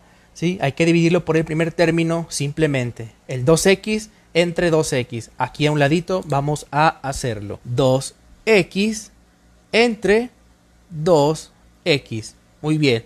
Entonces, 2 entre 2, ¿cuánto es? Es 1. Y x entre x, ¿cuánto es? Pues es nada, ¿verdad? Se elimina, por decirlo así. Se elimina. Entonces, ¿qué nos quedó aquí? Bueno, nos quedó un 1. Bueno, ese 1 lo vamos a poner acá arriba en la respuesta. Es positivo, ¿verdad? Porque no hay ningún signo. Significa que es positivo. Por eso hay que ponerlo positivo. Muy bien. Perfecto. Ahora que sigue, bueno, se repiten los mismos pasos que el anterior. ¿Qué significa eso? Bueno, que este más 1 va a multiplicar a los términos que tengamos en el divisor. ¿Ok? Entonces, comenzamos con los signos. Más por más. ¿Cuánto es? Es más, ¿verdad? Pero Recuerden que tenemos que invertir el signo en este paso, ¿verdad? Entonces, ¿cuánto es más por más? Pues es más, pero hay que invertirlo y va a ser menos. Muy bien, exactamente así como era. Ahora, los números 1 por 2, pues es 2, ¿verdad? Perfecto. 2. Y pues la X que está afectada aquí, este no tiene X, pero este sí, pues simplemente se pasaría. Entonces, en resumen, 1 por 2x es 2x, ¿sí? Perfecto, muy bien. ¿Y ahora qué sigue? Bueno, sigue ahora el otro término. Comenzamos primero con los signos. Más por menos, que dice aquí. Más por menos es menos, pero hay que invertirlo. Ahora va a ser más, ¿verdad? Ponemos aquí más. Muy bien. Perfecto. Y decimos 1 por 3, ¿cuánto es? 3, ¿verdad? Perfecto. Ahora, ¿qué sucede aquí? Hacemos lo mismo. Vamos a hacer la resta o sumas según sea el signo. Entonces, más 2x menos 2x, lo mismo que ocurrió aquí, más 2x menos 2x, pues es 0, ¿verdad? Pues no ponemos nada. Se eliminan. Perfecto. Y aquí, menos 3 más 3, es lo mismo que aquí. Se elimina simplemente. Entonces, ¿qué nos queda abajo en el residuo? Nos queda Cero, perfecto. Entonces, ¿qué pasa cuando nos queda cero en una división algebraica? Bueno, significa que no hay residuo y por lo tanto la respuesta que tengamos aquí arriba significa que está ya terminada y correcta. Con lo cual el resultado de dividir 4x cuadrada menos 4x menos 3 entre 2x menos 3 nos da como resultado 2x más 1 y esta es la respuesta de este ejercicio. Tengan mucho cuidado con estos ejercicios porque este método sirve para todas las divisiones, pero hay casos particulares que les quiero platicar en otros videos más adelante donde se pueden confundir, se pueden ordenar de una manera que no les quede y se pueden confundir mucho más. Entonces, si quieren que siga continuando haciendo este tipo de divisiones, déjenme en los comentarios y dejen su like para que no se me pierdan en este tema, porque si es algo complicado, si llegan a equivocarse con cualquier cosita. Ustedes bienvenidos a esta tercera parte de la continuación del curso de álgebra desde cero. Así que vamos a comenzar a realizar una división que quedamos pendiente de hacer. ¿Cuál es este tipo de división? Bueno, lo que sucede es que en el anterior video habíamos dicho que existía una división en donde puedes llegar a equivocarte en la parte de acomodarla. Por ejemplo, miren, aquí tenemos el primer término que dice 4x al cubo, ¿verdad? Entonces sabemos que debe estar ordenada de el mayor exponente al menor exponente. Digamos que este es exponente 3, este es exponente 1 y pues este los que no tienen exponente pues siempre van a ir al final, los que son puros coeficientes, los que son puros números, ¿verdad? Entonces aquí faltaría, digamos que en medio entre estos dos falta una variable que esté al cuadrado, ¿verdad? Porque la potencia es 3 y luego debería ser otra potencia, una x cuadrada, digámoslo así, y aquí pues x a la 1 para que estuviera bien. Entonces, en pocas palabras, aquí faltaría, digámoslo así, un término que sea al cuadrado, ¿ok? Entonces, ¿qué se hace en esos casos? Bueno, en este caso vamos a acomodarlo de esta manera. Ponemos lo que es el símbolo de la división larga, ¿sí? Y colocamos el primer término que es 4x al cubo, ¿ok? Y en vez de poner aquí menos 6x, vamos a dejar un espacio en blanco aquí, ¿ok? Vamos a dejar ese espacio en blanco y vamos a poner el menos 6x, ¿ok? Más 20, ¿ok? Siempre hagan eso. Cuando falte un término, por ejemplo en mi caso, que falta un término x cuadrado, digámoslo así, un término al cuadrado falta aquí, hagan ese espacio. Ahora, en caso de que suceda también que falte el término este, que es el grado 1, ¿sí, verdad?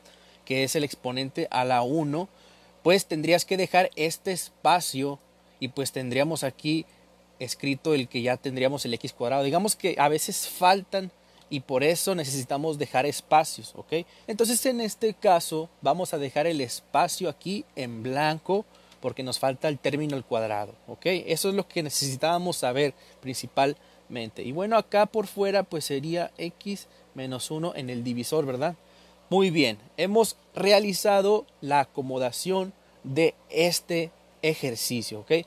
Ahora vamos a comenzar siempre igual, ya lo demás es lo mismo que hemos visto en los anteriores videos, se hace de la misma manera. Por ejemplo, siempre vamos a comenzar dividiendo este primer término con el primer término del divisor, ¿verdad? Vamos a comenzar a hacerlo ponemos 4x al cubo dividido entre el primer término que es x. Muy bien.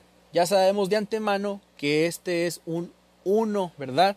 4 entre 1, ¿cuánto me da? Pues me da 4, ¿verdad? Me da lo mismo. Y x al cubo entre x a la 1, recordemos que también hay un 1 ahí, se resta 3 menos 1, ¿cuánto me queda? 2, ¿verdad? Entonces sería x cuadrada. Muy bien. Perfecto. Hemos encontrado la primera respuesta y vamos a ponerla en el cociente. 4x al cuadrado. Muy bien. ¿Cuál es el siguiente paso? Bueno, pues el siguiente paso es multiplicar todo este término por el primero y después volver a multiplicar este todo este término por el segundo término del divisor, ¿ok? Y recuerden siempre invertir el signo, ¿ok? Eso es de ley. Entonces decimos más por más es más, ¿verdad? Pero recuerden que tenemos que invertir el signo, entonces va a ser menos. Pues pongo menos. Ahora sí, 4x cuadrada por x va a ser 4x al cubo. ¿Por qué? Porque nada más se le está sumando el exponente 1 más 2 es 3. ¿Ok? Perfecto. Y bueno, ¿qué sigue? Ahora vamos a multiplicar este término por el segundo término del divisor. 4x al cuadrado por 1, pues sería 4x al cuadrado, ¿verdad? Pero primero los signos más por menos es menos, pero invirtiéndolo va a ser más, ¿verdad? Correcto. Entonces vamos a poner 4x al cuadrado. Perfecto. ¿Qué hacemos ahora? Bueno, pues vamos a poner la línea de la división del área cuando se resta. Y bueno, decimos 4x al cubo menos 4x al cubo, pues se elimina, va a quedar 0 aquí, ¿verdad? Va a quedar 0. Y este más 4x al cuadrado, pues simplemente lo voy a bajar. 4x al cuadrado, porque no se está operando con nadie. ¿Vieron? Nada más simplemente se baja. Excelente. ¿Qué hacemos? Bueno, seguimos bajando los otros términos para volver a repetir los mismos pasos. ¿Ok? ¿Verdad que se entiende? Excelente. ¿Cuál es el siguiente paso? Bueno, de nuevo tomo el primer término y lo voy a dividir entre el primer término del divisor. ¿sí? Entonces pongo aquí 4x al cuadrado entre qué? Entre la x, ¿verdad? Muy bien. decimos, siempre hay una 1 aquí aparente y un 1 aparente acá también, ¿verdad? 4, primero los coeficientes, 4 entre 1 me da 4, perfecto, poner aquí 4. x al cuadrado entre x a la 1, digámoslo así, 2 menos 1 me queda 1, ¿verdad? Entonces me va a quedar a la 1, pero no se pone, como habíamos dicho. ¿Se entendió, verdad? Entonces aquí tenemos la segunda respuesta que va en el cociente. Vamos a ponerlo más 4x. Puse el signo de más porque esto es más realmente. Si no lleva signo es porque es más, ¿verdad? Por eso puse más 4x. Perfecto. ¿Cuál es el siguiente paso? Vamos a hacer los mismos pasos del anterior. Más por más es más, pero hay que invertirlo, entonces va a ser menos. Muy bien. Entonces decimos 4x por x es 4x al cuadrado. Muy bien, excelente. Y otra vez lo mismo, pero ahora con el segundo término que es 1 menos 1. Más por menos es menos, pero lo invertimos el signo, va a ser más. Perfecto. 4x por 1, 4x. Muy bien. Vamos excelente. Hacemos la línea de división de restas. Y bueno, hacemos lo mismo. 4x al cuadrado menos 4x al cuadrado, pues se elimina, queda 0. Y aquí hacemos la debida operación. ¿Cuánto es menos 6x más 4x? ¿Cuánto nos quedaría eso? Menos 2x. Muy bien. Vamos muy bien. Bajamos el siguiente término. Perfecto. Ya mero terminamos, ya nada más nos falta este hacerle el mismo paso. Decimos que este lo tomamos, el menos 2x, y lo vamos a dividir entre el primer término. ¿Ok? Ponemos acá menos 2x entre qué? X, perfecto. Recordemos que siempre este va a ser 1x a la 1, ¿verdad? Siempre que vemos eso así. Para, yo lo pongo para que ustedes distingan siempre. Entonces, menos entre más es menos. Así como las multiplicaciones que dicen menos por más, menos, menos por menos, más. Así es lo mismo en las divisiones. Así como lo oyes, así es también en, las divisiones. Menos entre más es menos, ¿ok? Y menos entre menos es más, es lo mismo. No se mortifiquen por eso, es la misma ley. Entonces seguimos, ahora siguen los coeficientes. 2 entre 1, pues me va a dar 2, ¿verdad?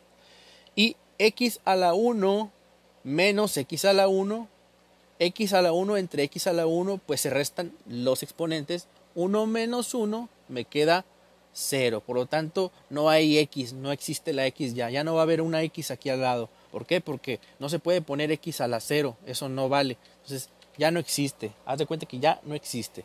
Perfecto, ya tenemos el último término que va acá. Lo ponemos menos 2 y volvemos a hacer siempre los mismos pasos. Este término lo voy a multiplicar por el primer término del divisor y luego por el segundo término del divisor. ¿Ok? ¿Se entiende? Perfecto. Entonces primero los signos. Menos por más es menos. Pero hay que invertir siempre. O sea que va a ser más. Perfecto. 2 por x. 2x. Perfecto. Y ahora el segundo término.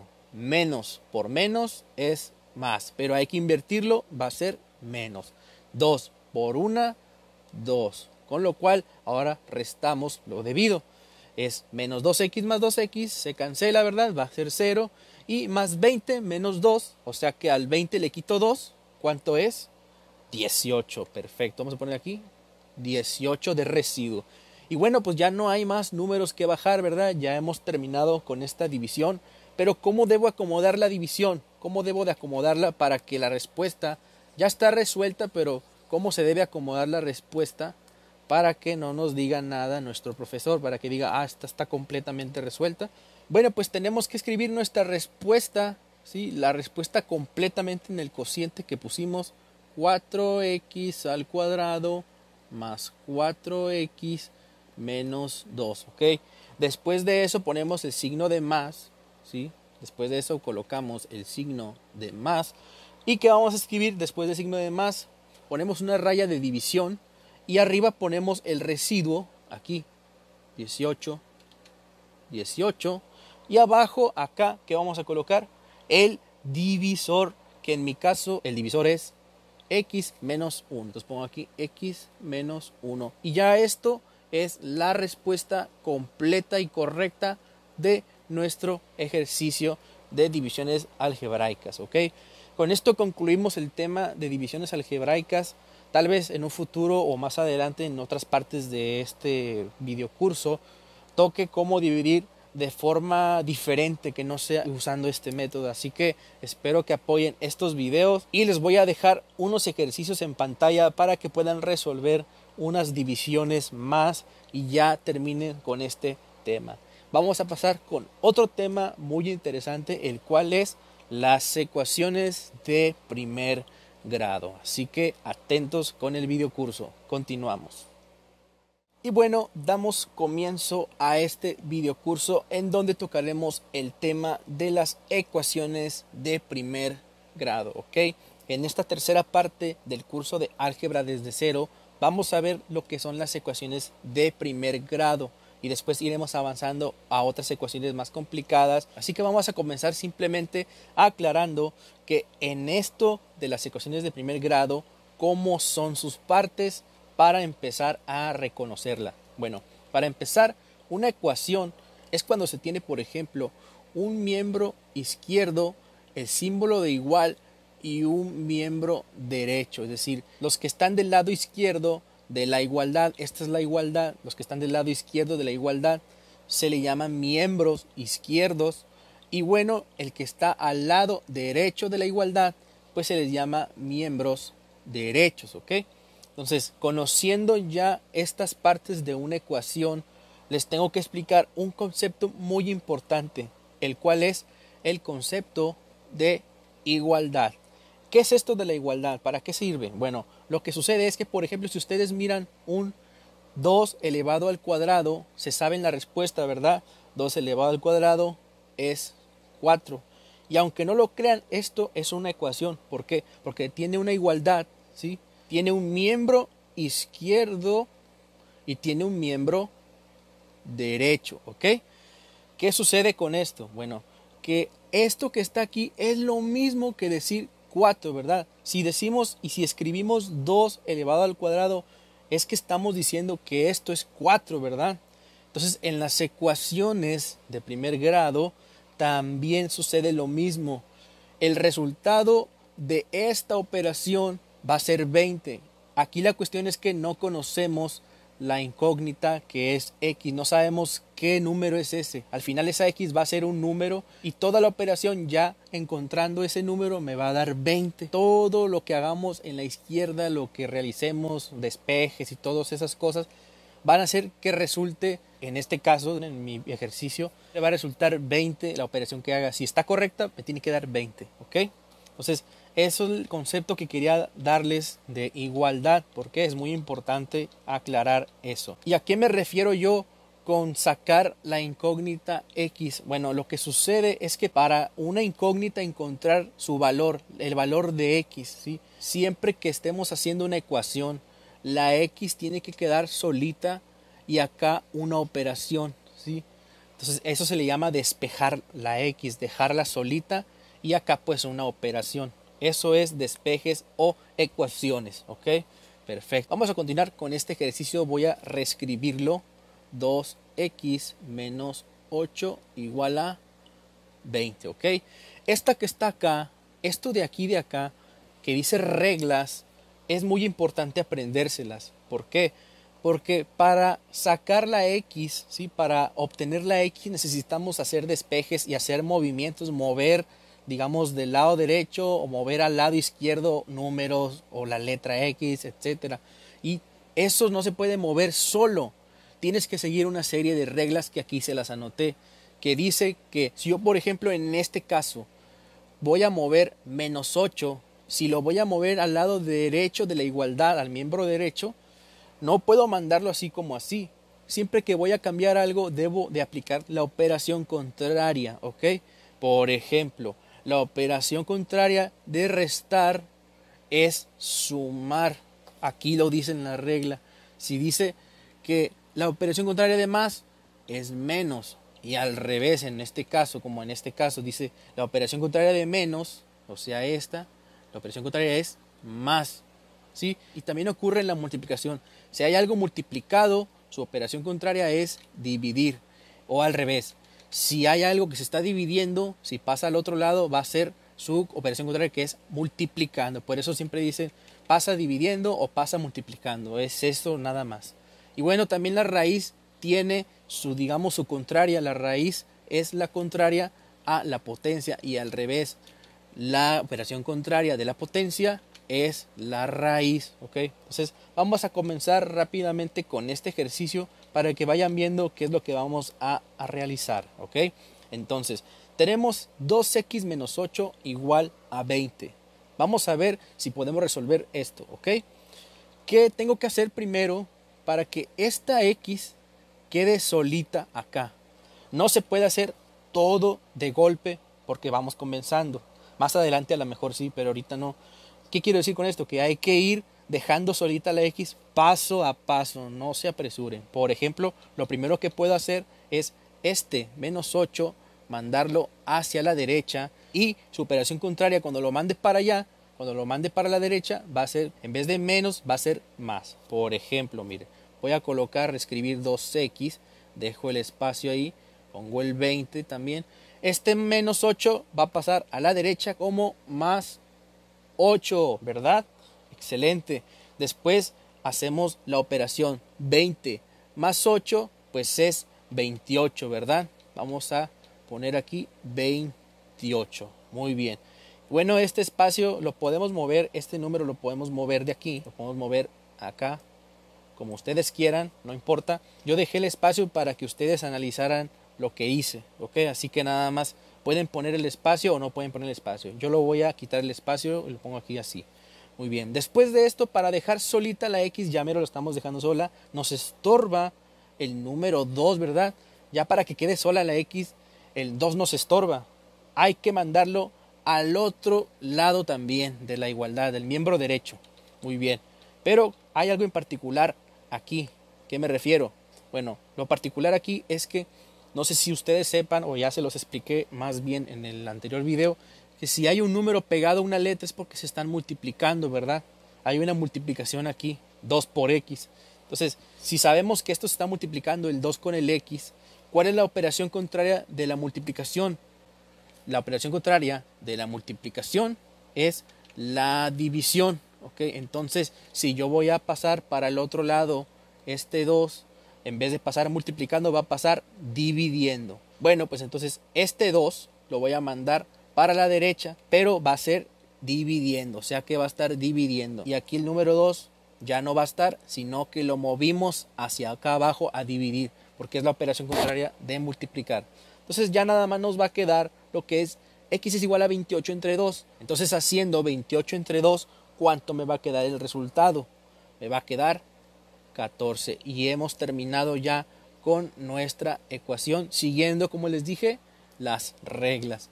Bueno, ¿cómo sé si esto está correcto? ¿Cómo voy a saber si está bien? Bueno, podemos hacer la comprobación.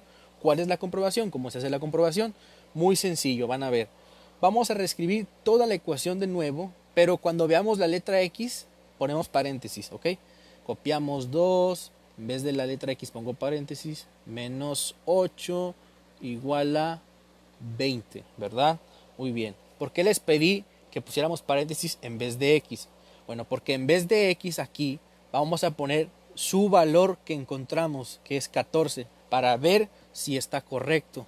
Es un supuesto valor porque no sabemos si todavía sea el correcto, ¿verdad? Hay que ponerlo aquí. Muy bien. Después operamos y decimos 2 por 14, ¿cuánto es? Bueno, pues 2 por 14 es 28. Muy bien. Copiamos menos 8 igual a 20. Hacemos la revida resta, que es 28 menos 8. ¿Cuánto me queda? Me queda 20. Y esto es igual a 20. ¿Qué les dije? Al principio les dije, para comprobar si esto está correcto, esta operación, esta operación del miembro izquierdo debe darme lo mismo que el de la derecha. ¿Y qué creen que sucedió? Que sí, la operación de la izquierda me va a dar lo mismo que está en el igual en la parte del miembro de la derecha. Y si sale el mismo número es porque está correcta tu ecuación. Ya vieron que no es tan complicado es realmente algo que puedes aprender para que no se te olvide nunca jamás cómo es esto de las reglas de despejes. el concepto de igualdad y cómo hacer las ecuaciones de primer grado. Vamos a pasar con otro ejercicio para ver cómo nos sale o qué tipo de ejercicio existen también. Vamos a empezar con otros ejercicios. Entonces, continuando con estos ejercicios de ecuaciones de primer grado, nos encontramos con este ejercicio que dice 6x menos 2 igual a 10. Bueno, ¿cómo dijimos que íbamos a comenzar? Bueno, tratando de que la x se quede lo más sola posible hasta que quede sola y ya resolver la operación que nos quede en la derecha, en el miembro derecho, ¿verdad? Entonces, ¿qué vamos a hacer? Bueno, aquí ¿qué nos está estorbando de todo esto? ¿Qué nos está estorbando para que la x se quede sola? Bueno, pues vemos que este menos 2 está estorbando. Lo podemos mandar hacia el otro lado, ¿verdad?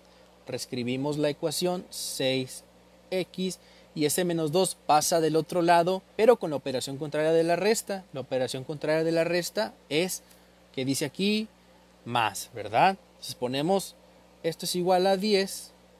Este menos 2 lo mandamos a la derecha y es más 2, ¿verdad? Ya colocamos este 2 en la derecha, pero con el signo contrario porque su operación contraria del menos es más, ¿verdad? Perfecto, vamos muy bien. Resolvemos esta operación que es una suma 10 más 2 me va a dar 12, ¿verdad? Pongo acá abajo, es 12. Perfecto, ya terminamos eso. Ahora, ¿qué otra cosa me está estorbando para que la x quede sola? Esta x debe de quedar sola. Bueno, pues el que me está estorbando es el número 6, ¿verdad? ¿Qué debe pasar? Bueno, como el 6 está multiplicando a la x, la operación contraria de multiplicar, ¿qué nos dice? La operación contraria de multiplicar es la división, ¿verdad? Entonces, de multiplicar pasa a dividir del otro lado, ¿verdad? Entonces, este 6 va a pasar a dividir aquí, debajo del 12. Muy bien. Borro aquí el 6, ya lo pasamos. Y me queda la x sola, ¿verdad? Entonces decimos, ¿cuánto es 12 entre 6? Y bueno, la respuesta ya la tenemos y sabemos que es 2, ¿verdad? Y hemos terminado con este ejercicio. Y vamos a comprobar si, si es cierto esta operación, ¿verdad? Bueno, pues ponemos aquí la ecuación, la reescribimos y en vez de la x ponemos el paréntesis, ¿verdad? Ponemos todo esto. En vez de la x, ¿qué voy a poner? El 2, ¿verdad? Pongo aquí 2. ¿Qué decimos? 6 por 2, 12. Muy bien. Menos 2 igual a 10. ¿Cuánto es 12 menos 2? 10. Con lo cual también me da 10 acá. Y es que esto significa que está correcta nuestra ecuación, ¿verdad? Ya ven que no es tan difícil como pensaban. Esta es una ecuación de primer grado también como la anterior. Así que vamos a pasarnos con un ejercicio un poquito más diferente en donde aparece dos veces la X. ¿Quieren saber cómo se hace eso? Quédense a ver el video. Y bueno, comenzamos con otro ejercicio más en donde hay una variable repetida, es decir, la X se repite, hay dos veces X, ¿verdad? Por ejemplo, aparece aquí en el 4X y aparece acá en el 7X, aparece dos veces la X, ¿verdad? ¿Qué sucede en estos casos? Bueno, es muy sencillo. Vamos a tratar de que el 7X sea unido o se una junto con el 4X, que se junten y se mezclen y al final se van a hacer uno mismo, ¿verdad? ¿Qué debo hacer para que suceda eso? Bueno, para que suceda eso, este por ejemplo, el más 6, ¿sí? si tenemos aquí un más 6 no tiene letra y tenemos un menos 5 que tampoco tiene letra, pueden combinarse también. Por ejemplo, este 6, si lo mando al otro lado, va a quedar como menos 6, ¿verdad? Porque pasa el signo contrario más, va a pasar a ser menos. Ahora resolviendo esto, vamos a colocar el 4x, el espacio si quieren, el 7x, y operamos esto que es menos x menos 6, ¿cuánto me da? Exactamente, menos x menos 6 me da menos 11, ¿verdad? Y aquí tenemos ya un paso más avanzado, ¿ok? para que el 7x se junte con el 4x, puedo mandar el 7x a este lado izquierdo, ¿verdad? Vamos a realizarlo a ver si se puede para que verifiquen 4x. Recuerden que esto es más, cuando no hay ningún signo es porque es por default más, ¿verdad? Entonces va a pasar de ser más a ser menos. Menos 7x igual a menos 11, ¿verdad? Exactamente. Combinando ahora sí lo logramos. Hemos hecho lo que les dije al principio, juntar el 4x con el 7x. Y bueno, simplemente queda de operar esto. Y bueno, simplemente me quedó 4x menos 7x es menos 3x, ¿verdad? Y pues seguimos pasando el menos 11. Y ya por último tenemos un menos 3 por x, porque recuerden que se está multiplicando.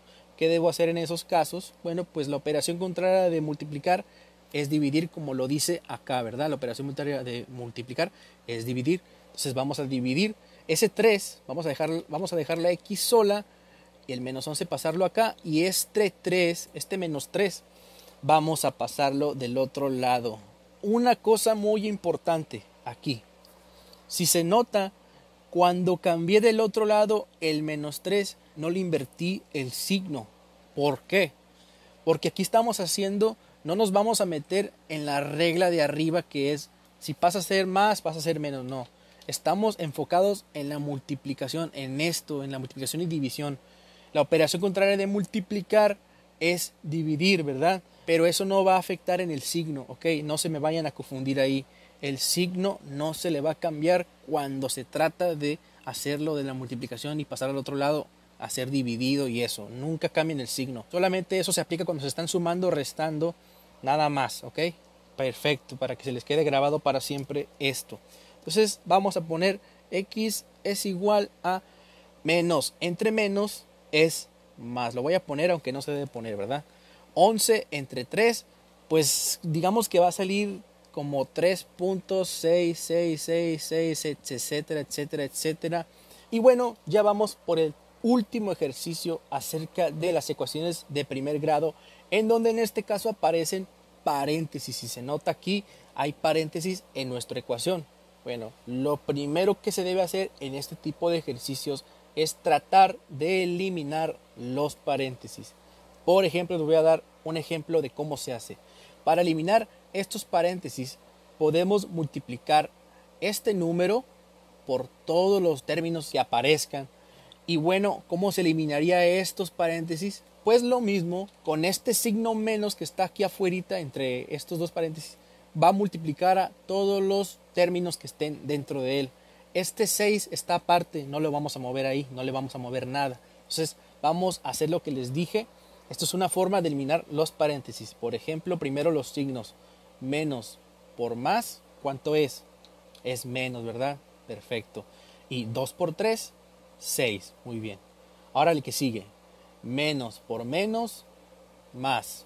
Y 2 por 2x es 4x. ¿Estoy en lo correcto? Muy bien. Ahora el que sigue es este menos va a multiplicar a los términos. Si se puede, mira, aunque no sea número, puede multiplicar porque hay paréntesis. Entonces decimos menos por más es menos. Muy bien. Y ponemos 3x. Perfecto. Y ahora menos por más también es menos, ¿verdad? Me queda menos en las dos. Y pues transcribo el número 5. Perfecto pongo esto es igual a 6. Como les dije, este no lo movemos. Listo. Hemos terminado de remover o eliminar los paréntesis. ¿Cuál es el siguiente paso? El siguiente paso es unir los términos semejantes. Recordemos que los términos semejantes son aquellos los que son iguales o que tengan un parecido. Les voy a decir cuáles son los términos semejantes en este caso. Por ejemplo, este 4x comparte la misma variable que el 3x, es decir, ambos tienen x en común. ¿Verdad? ¿Y los otros qué tienen en común? Bueno, el menos 5 y el menos 6 tienen en común que no comparten ninguna letra, es decir, los dos son solamente números, ¿ok? Entonces ya con eso, sabiendo eso, podemos unirlos. Unirlos es juntarlos. Entonces primero voy a unir los que son X, los que tienen X. Voy a transcribir el menos 6 y voy a unir ahora sí más 4X menos 3X, ¿cuánto me va a dar? Me va a quedar más 1X, ¿verdad? Pero recordemos que el 1 no se pone, entonces va a ser más x, ¿sí? Solamente más x. Recuerden que el 1 no se pone, entonces va a ser más x. Y pues transcribo el menos 5 y el 6. ¿Se fijan cómo quedó nuestra ecuación? Ya casi la terminamos. ¿Qué debo hacer para que esta x quede sola? ¿Quién me, ¿Quiénes están estorbándole? No, me están estorbando el menos 5 y el menos 6. Hay que mandarlo al otro lado y también este hay que mandarlo al otro lado. Entonces va a quedar la X sola, ¿sí? El 6 lo paso. Entonces si tengo el menos 6 y lo voy a mandar al lado derecho de la igualdad, del otro lado, significa que va a ser, en vez de menos 6, va a ser más 6. ¿Ok? Perfecto. Y el menos 5, si lo mando también para el otro lado, ¿qué me va a quedar? En vez de menos 5 va a ser más 5, ¿verdad? Y ya resolviendo esta simple suma, tenemos que 6 más 6 más 5, ¿cuánto me da? 17. Y bueno, hemos terminado con esta ecuación. Y si ustedes quieren comprobar esto, si ustedes quieren comprobarlo, hagan lo mismo. Transcriban esto de aquí y para saber si está correcto, en vez de las X vamos a colocar el valor de 17 para ver si estamos en lo correcto. Les voy a dejar como ejercicio eso para la comprobación de esta ecuación. Más aparte les voy a dejar ejercicios de ecuaciones de primer grado para que ustedes puedan resolver este tipo de ejercicios sobre ecuaciones, ya sea con variable repetida o simplemente sean normales o sean con paréntesis. Espero que este video curso te esté ayudando en álgebra. Sean todos ustedes muy bienvenidos a este video curso de álgebra desde cero, en donde este video es la cuarta parte del curso de álgebra desde cero. Si ustedes están en este video ya significa que ya han visto el video 1, el video 2 y el video 3. Así que esta es la cuarta parte. ¿Y qué tema vamos a tocar en la cuarta parte? Bueno, vamos a tocar el tema de factorización. ¿Ok? ¿Alguna vez ustedes han escuchado que dicen hay que factorizar? O simplemente la palabra. ¿Alguna vez has escuchado que digan factorización? Pues bien, Ahorita vamos a ver dos métodos de factorización, porque hay varios métodos para factorizar. Primero que nada, vamos a ver el factor común y después diferencia de cuadrados, que son dos formas de factorizar de muchas. Así que vamos a comenzar primeramente definiendo qué significa la factorización. Bueno, es muy sencillo, van a ver que aquí van a comprender qué es factorizar. Primero que nada, imaginemos que queremos factorizar un 12 porque factorización no solamente aplica para álgebra, también aplica para simplemente aritmética. Por ejemplo, si yo quiero factorizar 12, esto es como decir 3 por 4. ¿Qué estoy diciendo con esto? Bueno, que la factorización nos dan el resultado de algo y nosotros tenemos que deducir qué operación se hizo. Y entonces, ¿qué está sucediendo aquí? Bueno, que en la factorización es al revés. Nosotros estamos acostumbrados, ¿verdad? A hacer una operación, por ejemplo, 3 por 4. ¿Cuánto es 3 por 4? Pues es 12. Y ponemos el resultado, ¿verdad? Bueno, en la factorización es al revés. En la factorización nos dan primero el resultado para que nosotros descubramos qué es la operación que se hizo para llegar a esto. Entonces, eso es factorizar.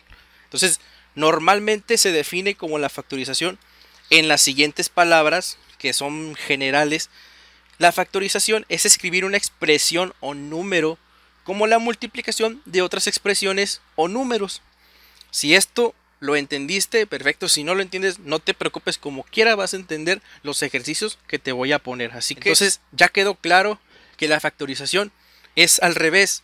Y vuelvo a repetir, en la factorización nos dan el resultado y nosotros tenemos que descubrir la operación que se hizo para llegar a ese resultado. Eso es factorizar. Así que vamos a verlo ahora sí con ejercicios y primeramente vamos a ver el método de factorización de factor común. Vamos a comenzar. En el ejercicio número 1 vamos a escribir lo siguiente. Ponemos 8x más vamos a poner 3xy. ¿En qué consiste la factorización por factor común? Bueno, es muy sencillo. Tenemos que ver de nuestra expresión, de nuestro ejercicio, cuál de estas variables se repite. Ojo, variables, las variables son las letras, ¿verdad? Estas son las tres variables que tenemos. Y queremos saber qué variable se repite más. La x o la y. La x, ¿verdad? Porque aparece dos veces. Bueno, si tú ves que la variable se repite, vas a escribir esa variable. ¿Ok? Perfecto. Ya la escribí. Luego después de hacer eso, abrimos un paréntesis siempre y todo lo que dejamos de sobra, es decir, sacando las x, digamos que las x ya las eliminamos, vamos a anotar todo como está aquí en orden. Primero va el 8, ¿verdad? Primero aparece el 8, ponemos aquí 8, luego está el signo de más, pongo el signo de más, luego está el 3, pongo el 3, luego está el y, así que pongo aquí y. Cierro el paréntesis y aunque ustedes no lo crean, esta ya es la respuesta. ¿Cómo puedo saber si esta es la respuesta? Bueno, esto que está aquí es una multiplicación. Por ejemplo, x va a multiplicar con 8 y x va a multiplicar con 3y. Si esta multiplicación me sale este resultado de aquí, significa que está correcto lo que hiciste. Vamos a ver si es cierto. Vamos a hacerlo aquí. Primero vamos a multiplicar x por 8, ¿verdad? Vamos a hacerlo. Pero primero los signos, ¿verdad? Son signos de más, ¿verdad? Entonces, más por más es más, ¿verdad? X por 8, pues 8X, ¿verdad? Ahora vamos a multiplicar la X con quién? Con el más 3Y, ¿ok? Perfecto, pero primero los signos. Más por más, más. Muy bien, perfecto. X por 3Y, pues simplemente se mezclan el X y el Y, ¿verdad? 3X, Y, es decir, se juntan, se pegan nada más. Con lo cual, esto me dio esto. Sí, ¿verdad? Entonces, significa que está correcto. ¿Qué es lo que te quiero dar a entender con esto? Bueno, como habíamos visto en la definición de factorizar, nos daban el resultado y nosotros teníamos que encontrar la operación que se hizo para llegar a este resultado. Y para que vean que es cierto, como les dije, primero nos dieron en el ejercicio el resultado y después tuvimos que descubrir la operación que se hacía para llegar a esto, ¿verdad? ¿Verdad que es muy sencillo? Muy, muy, pero muy sencillo. Y vamos a ver otro ejercicio para ver qué tal está el siguiente. Y bueno, aquí tenemos el segundo ejercicio, el ejercicio 2. Tenemos 2x cuadrada más 6x al cubo menos 4x. Lo mismo, vamos a buscar cuál es la variable que se repite de toda esta expresión. Y bueno, la variable que se repite obviamente es x, ¿verdad? Se repite tres veces, pero ya vieron, notaron algo, que los exponentes de todos son diferentes. Este es uno, ¿verdad? Los exponentes de todo son diferentes. ¿Qué se hace en esos casos? Bueno, en esos casos lo que tienes que hacer es lo siguiente. Vas a seleccionar de las tres variables que tienes aquí el que tenga el menor exponente. ¿Y quién tiene el menor exponente de los tres? Pues sería este, ¿verdad? El x a la 1. Pero no se escribe x a la 1, ¿verdad? No se escribe x a la 1. Se escribe como x sola. Perfecto. Tenemos eso ya grabado que hay que encontrar siempre quién es la variable. Y ahora como segundo paso, si tienes diferentes exponentes, escoge el más bajo, el que tenga menor grado. Muy bien. Entonces, ¿qué va a pasar con lo demás? Lo voy a transcribir, ¿verdad? Ok, pero como habíamos dicho anteriormente en el ejercicio pasado, se van eliminando las que son X, ¿verdad? Se va eliminando una X. Por lo tanto, esta se le va a quitar una X. ¿Cuánto quedaría? X a la 1, ¿verdad? ¿Y esta cómo quedaría? Pues X a la 2, ¿verdad? Perfecto. Y pues este cómo quedaría? Pues no existiría ya porque le está eliminando. Es como si le estuviéramos extrayendo una X a cada una. Y por eso esta se queda sin nada. Se queda así el 4. Entonces pasamos ahora sí todo. 2x más 6x cuadrado menos 4. Y ya con eso tenemos este resultado. Bien, ¿ok? ¿Se entendió? Y vamos a comprobar si esto es verdad. Vamos a multiplicar todos los de adentro con la x, ¿verdad? Entonces vamos a ver. Entonces vamos a multiplicar rápidamente, pues primero los signos, más por más, ¿verdad? Más por más da más. X por 2x pues, va a ser 2x cuadrado. Ahora el que sigue, más por más, más. Y x por 6x cuadrada, pues sería 6x al cubo, ¿verdad? Perfecto. Y por último, el más por menos, menos y x por 4, 4x. Y vamos a obtener que este es el resultado o la comprobación es esta, ¿verdad? Por lo tanto, esto que está aquí me salió igual que esto que está acá. Por lo tanto, está correcto lo que hicimos. Así que vamos a pasar a un tercer ejercicio para ver qué tal está. Y bueno, aquí tenemos el tercer ejercicio. ¿Y qué nos dice el tercer ejercicio? Dice 10x más 8x cuadrada y, ¿verdad? Entonces, ¿qué es lo primero que se hace con el factor común? Bueno, pues simplemente escojo cuál es la variable que más se repite. Y sabemos que la variable que más se repite es la x, ¿verdad? Y como también vemos, tienen diferentes exponentes. Entonces, ¿cuál voy a escoger? Siempre hay que escoger el que esté menor, el que tenga menor grado, el que sea más chico. Es decir, voy a escoger esta. Escribo esa acá, ¿ok? Y pongo el paréntesis. Y entonces esta x va a extraerle x a las dos. x le va a quitar x, pues se queda nada, ¿verdad? Y si a la x cuadrada se le quita una x, pues va a quedar como x a la 1, ¿verdad? Y entonces podemos escribir todo lo que nos sobró, ¿verdad? Entonces vamos a escribirlo. El 10, que ya no tiene ningún acompañante, ya no hay ninguna X. Más, pongo más. 8X. 8X. A la 1 se puede poner o no, pero yo no lo pongo porque eso no es correcto. Es mejor dejarlo X a la nada, ¿verdad? Y transcribo la Y.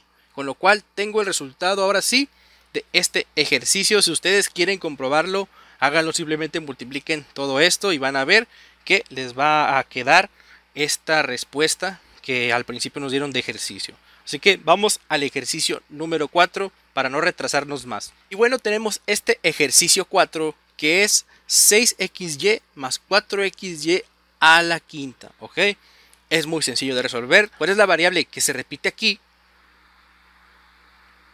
Pues bueno, la variable que más se repite obviamente es XY, XY. ¿Ok? Están juntas, por lo tanto, se repiten, pero no tienen el mismo grado, ¿verdad? Aquí hay un 5, pues acá no tiene ningún exponente.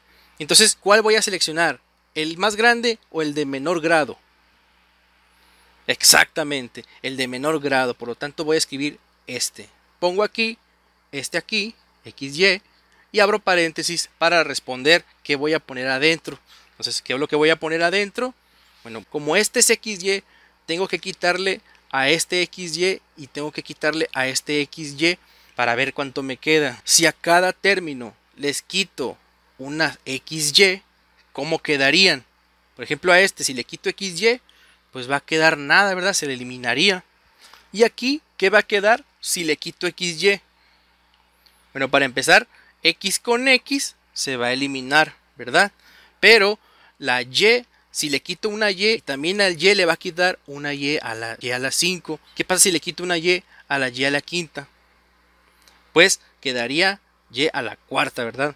Con lo cual simplemente pasaríamos lo que es lo que nos queda. ¿Qué nos queda? Pues nos queda 6, nos queda más 4, Y a la cuarta, ¿ok? Vamos a transcribirlo. Pongo el 6, lo coloco aquí. Pongo el más, lo coloco acá. Pongo el 4, pongo aquí y y a la cuarta lo pongo acá, y a la cuarta.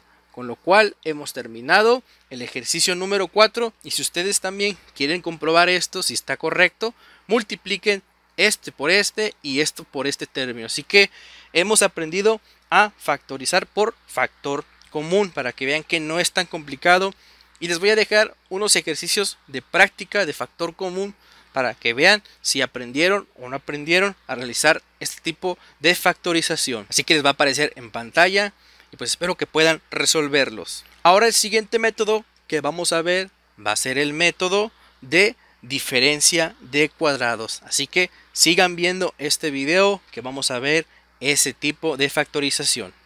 Entonces ahora sí nos pasamos a lo que es la factorización por diferencia de cuadrados. Si notas aquí he escrito una fórmula en donde estamos viendo la diferencia de cuadrados. ¿Por qué se llama diferencia de cuadrados? Bueno, pues porque aquí en medio esto se le llama diferencia a la resta, ¿verdad? Cuando hay un signo menos se le puede llamar como diferencia también. De cuadrados significa que de cuadrados porque están los términos al cuadrado, es decir, a cuadrada b cuadrado. O sea que es diferencia de cuadrados, por eso se llama así. Así que bueno, ¿en qué consiste la diferencia de cuadrados? Bueno, si tú tienes una multiplicación de binomios, por ejemplo, este es un binomio, ¿verdad? Esto es un binomio y este de acá también es un binomio. Es una multiplicación de binomios en donde tienes los mismos términos aquí y el segundo término también tiene términos. Entonces, ¿en qué casos puedo utilizar la diferencia de cuadrados para factorizar? Bueno, necesito ver el ejercicio que nos dan. Por ejemplo, ¿cuáles son las características que debe tener el ejercicio para resolverse por medio de diferencia de cuadrados? Ok, lo primero que nada, pues que sean dos binomios. Aquí tenemos un binomio, aquí tenemos otro binomio. Son dos binomios, el primero, el segundo. Eso para empezar, tenemos que tener dos binomios. Luego, ¿qué otra característica debe tener? Bueno, que las variables sean las mismas en cada término determinado. Por ejemplo, si aquí tenemos A, aquí también tiene que ser A. Y en el segundo también. Aquí tiene que ser B y acá también tiene que ser B. Esa es la segunda característica. ¿Y cuál es la última característica? Bueno, pues que ambos tengan el signo diferente. Por ejemplo, puede ser más menos o puede ser al revés. Aquí puede ser más y acá puede ser menos nada más.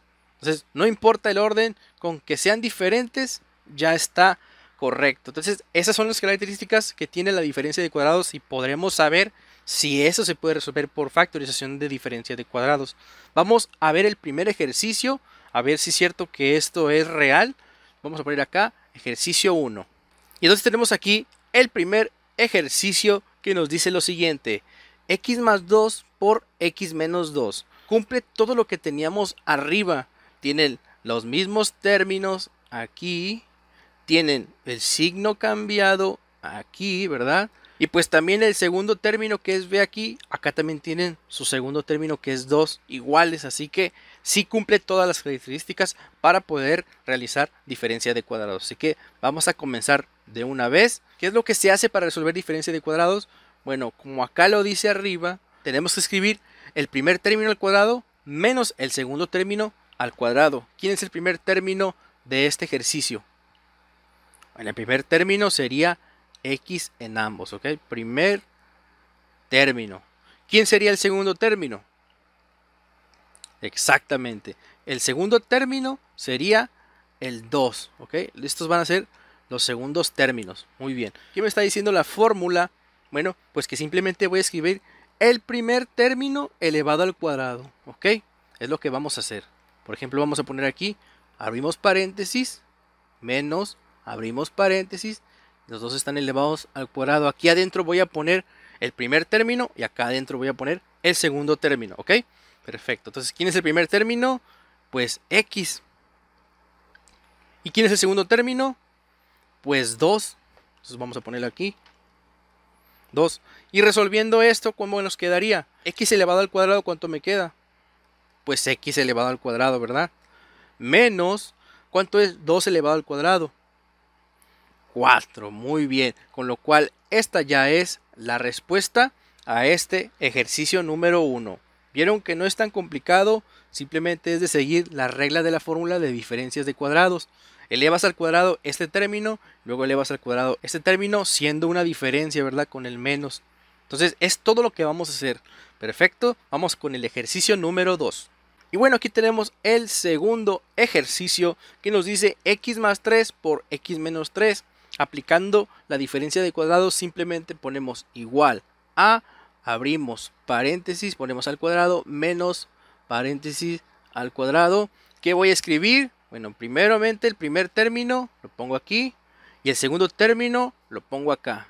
Con lo cual resolviendo esto, x al cuadrado me queda x al cuadrado menos 3 al cuadrado, pues sería como decir 3 por 3, 9, ¿verdad? Entonces sería 9. Y aquí tenemos ya la respuesta del ejercicio 2. Vieron que no está tan complicado, es muy sencillo este método de diferencia de cuadrados cuando se puede aplicar. Así que vamos al ejercicio número 3. Y bueno, aquí tenemos el ejercicio número 3 que nos dice 6 más x por 6 menos x, aplicando la misma lógica que en la fórmula. Abro paréntesis, lo pongo al cuadrado, menos, abro paréntesis, lo pongo al cuadrado. ¿Y cuál es el primer término que voy a escribir? Este, ¿verdad? Pongo aquí 6. ¿Y el segundo término cuál es? el x, perfecto, pongo aquí el x. Resolviendo esto me queda 6 al cuadrado, es como decir 6 por 6, 36, ¿verdad? Pongo aquí 36 menos x al cuadrado, pues queda x al cuadrado así como está. Y esta es la respuesta ya del ejercicio número 3. Vieron que es muy sencillo, no tardamos casi nada en hacer este tipo de ejercicios porque es muy sencillo la diferencia de cuadrados para que vean las básicas son estas y son realmente sencillas. Así que vamos al ejercicio 4. Y bueno, aquí tenemos el ejercicio número 4. Perfecto. Dice 8 menos b por 8 más b. Ponemos paréntesis al cuadrado menos paréntesis al cuadrado y escribimos los términos. El primero es 8, lo pongo aquí. El segundo es b, pongo acá. Escribimos aquí ya la respuesta. 8 elevado al cuadrado es como decir 8 por 8, 64. Perfecto, pongo aquí 64 menos, pongo el menos, b al cuadrado, pues va a quedar como b al cuadrado. Y esta ya es la respuesta del ejercicio número 4. Vieron que no está tan complicado, es sencillo. Y bueno, pues aquí tenemos el ejercicio número 5 que ha cambiado. Bueno, pues que tiene aquí en el segundo término dos cosas, el coeficiente y la parte literal, o sea, la variable. Entonces, ¿qué va a cambiar? Pues realmente no cambia tanto, vamos a seguir haciendo lo mismo. Pongo el paréntesis al cuadrado menos otro paréntesis al cuadrado y vamos a ver cada término. El término primero es A, con lo cual se coloca aquí. Y el segundo término se coloca acá en el segundo, ¿verdad? 2b. Bueno, resolviendo esto, a al cuadrado, pues me queda a cuadrado, ¿verdad? Menos, ¿qué pasa cuando tengo dos términos? Bueno, estos dos términos son afectados con el cuadrado, por lo tanto los dos se van a elevar al cuadrado. Primero vamos a elevar uno por uno. El 2 elevado al cuadrado, ¿cuánto me queda?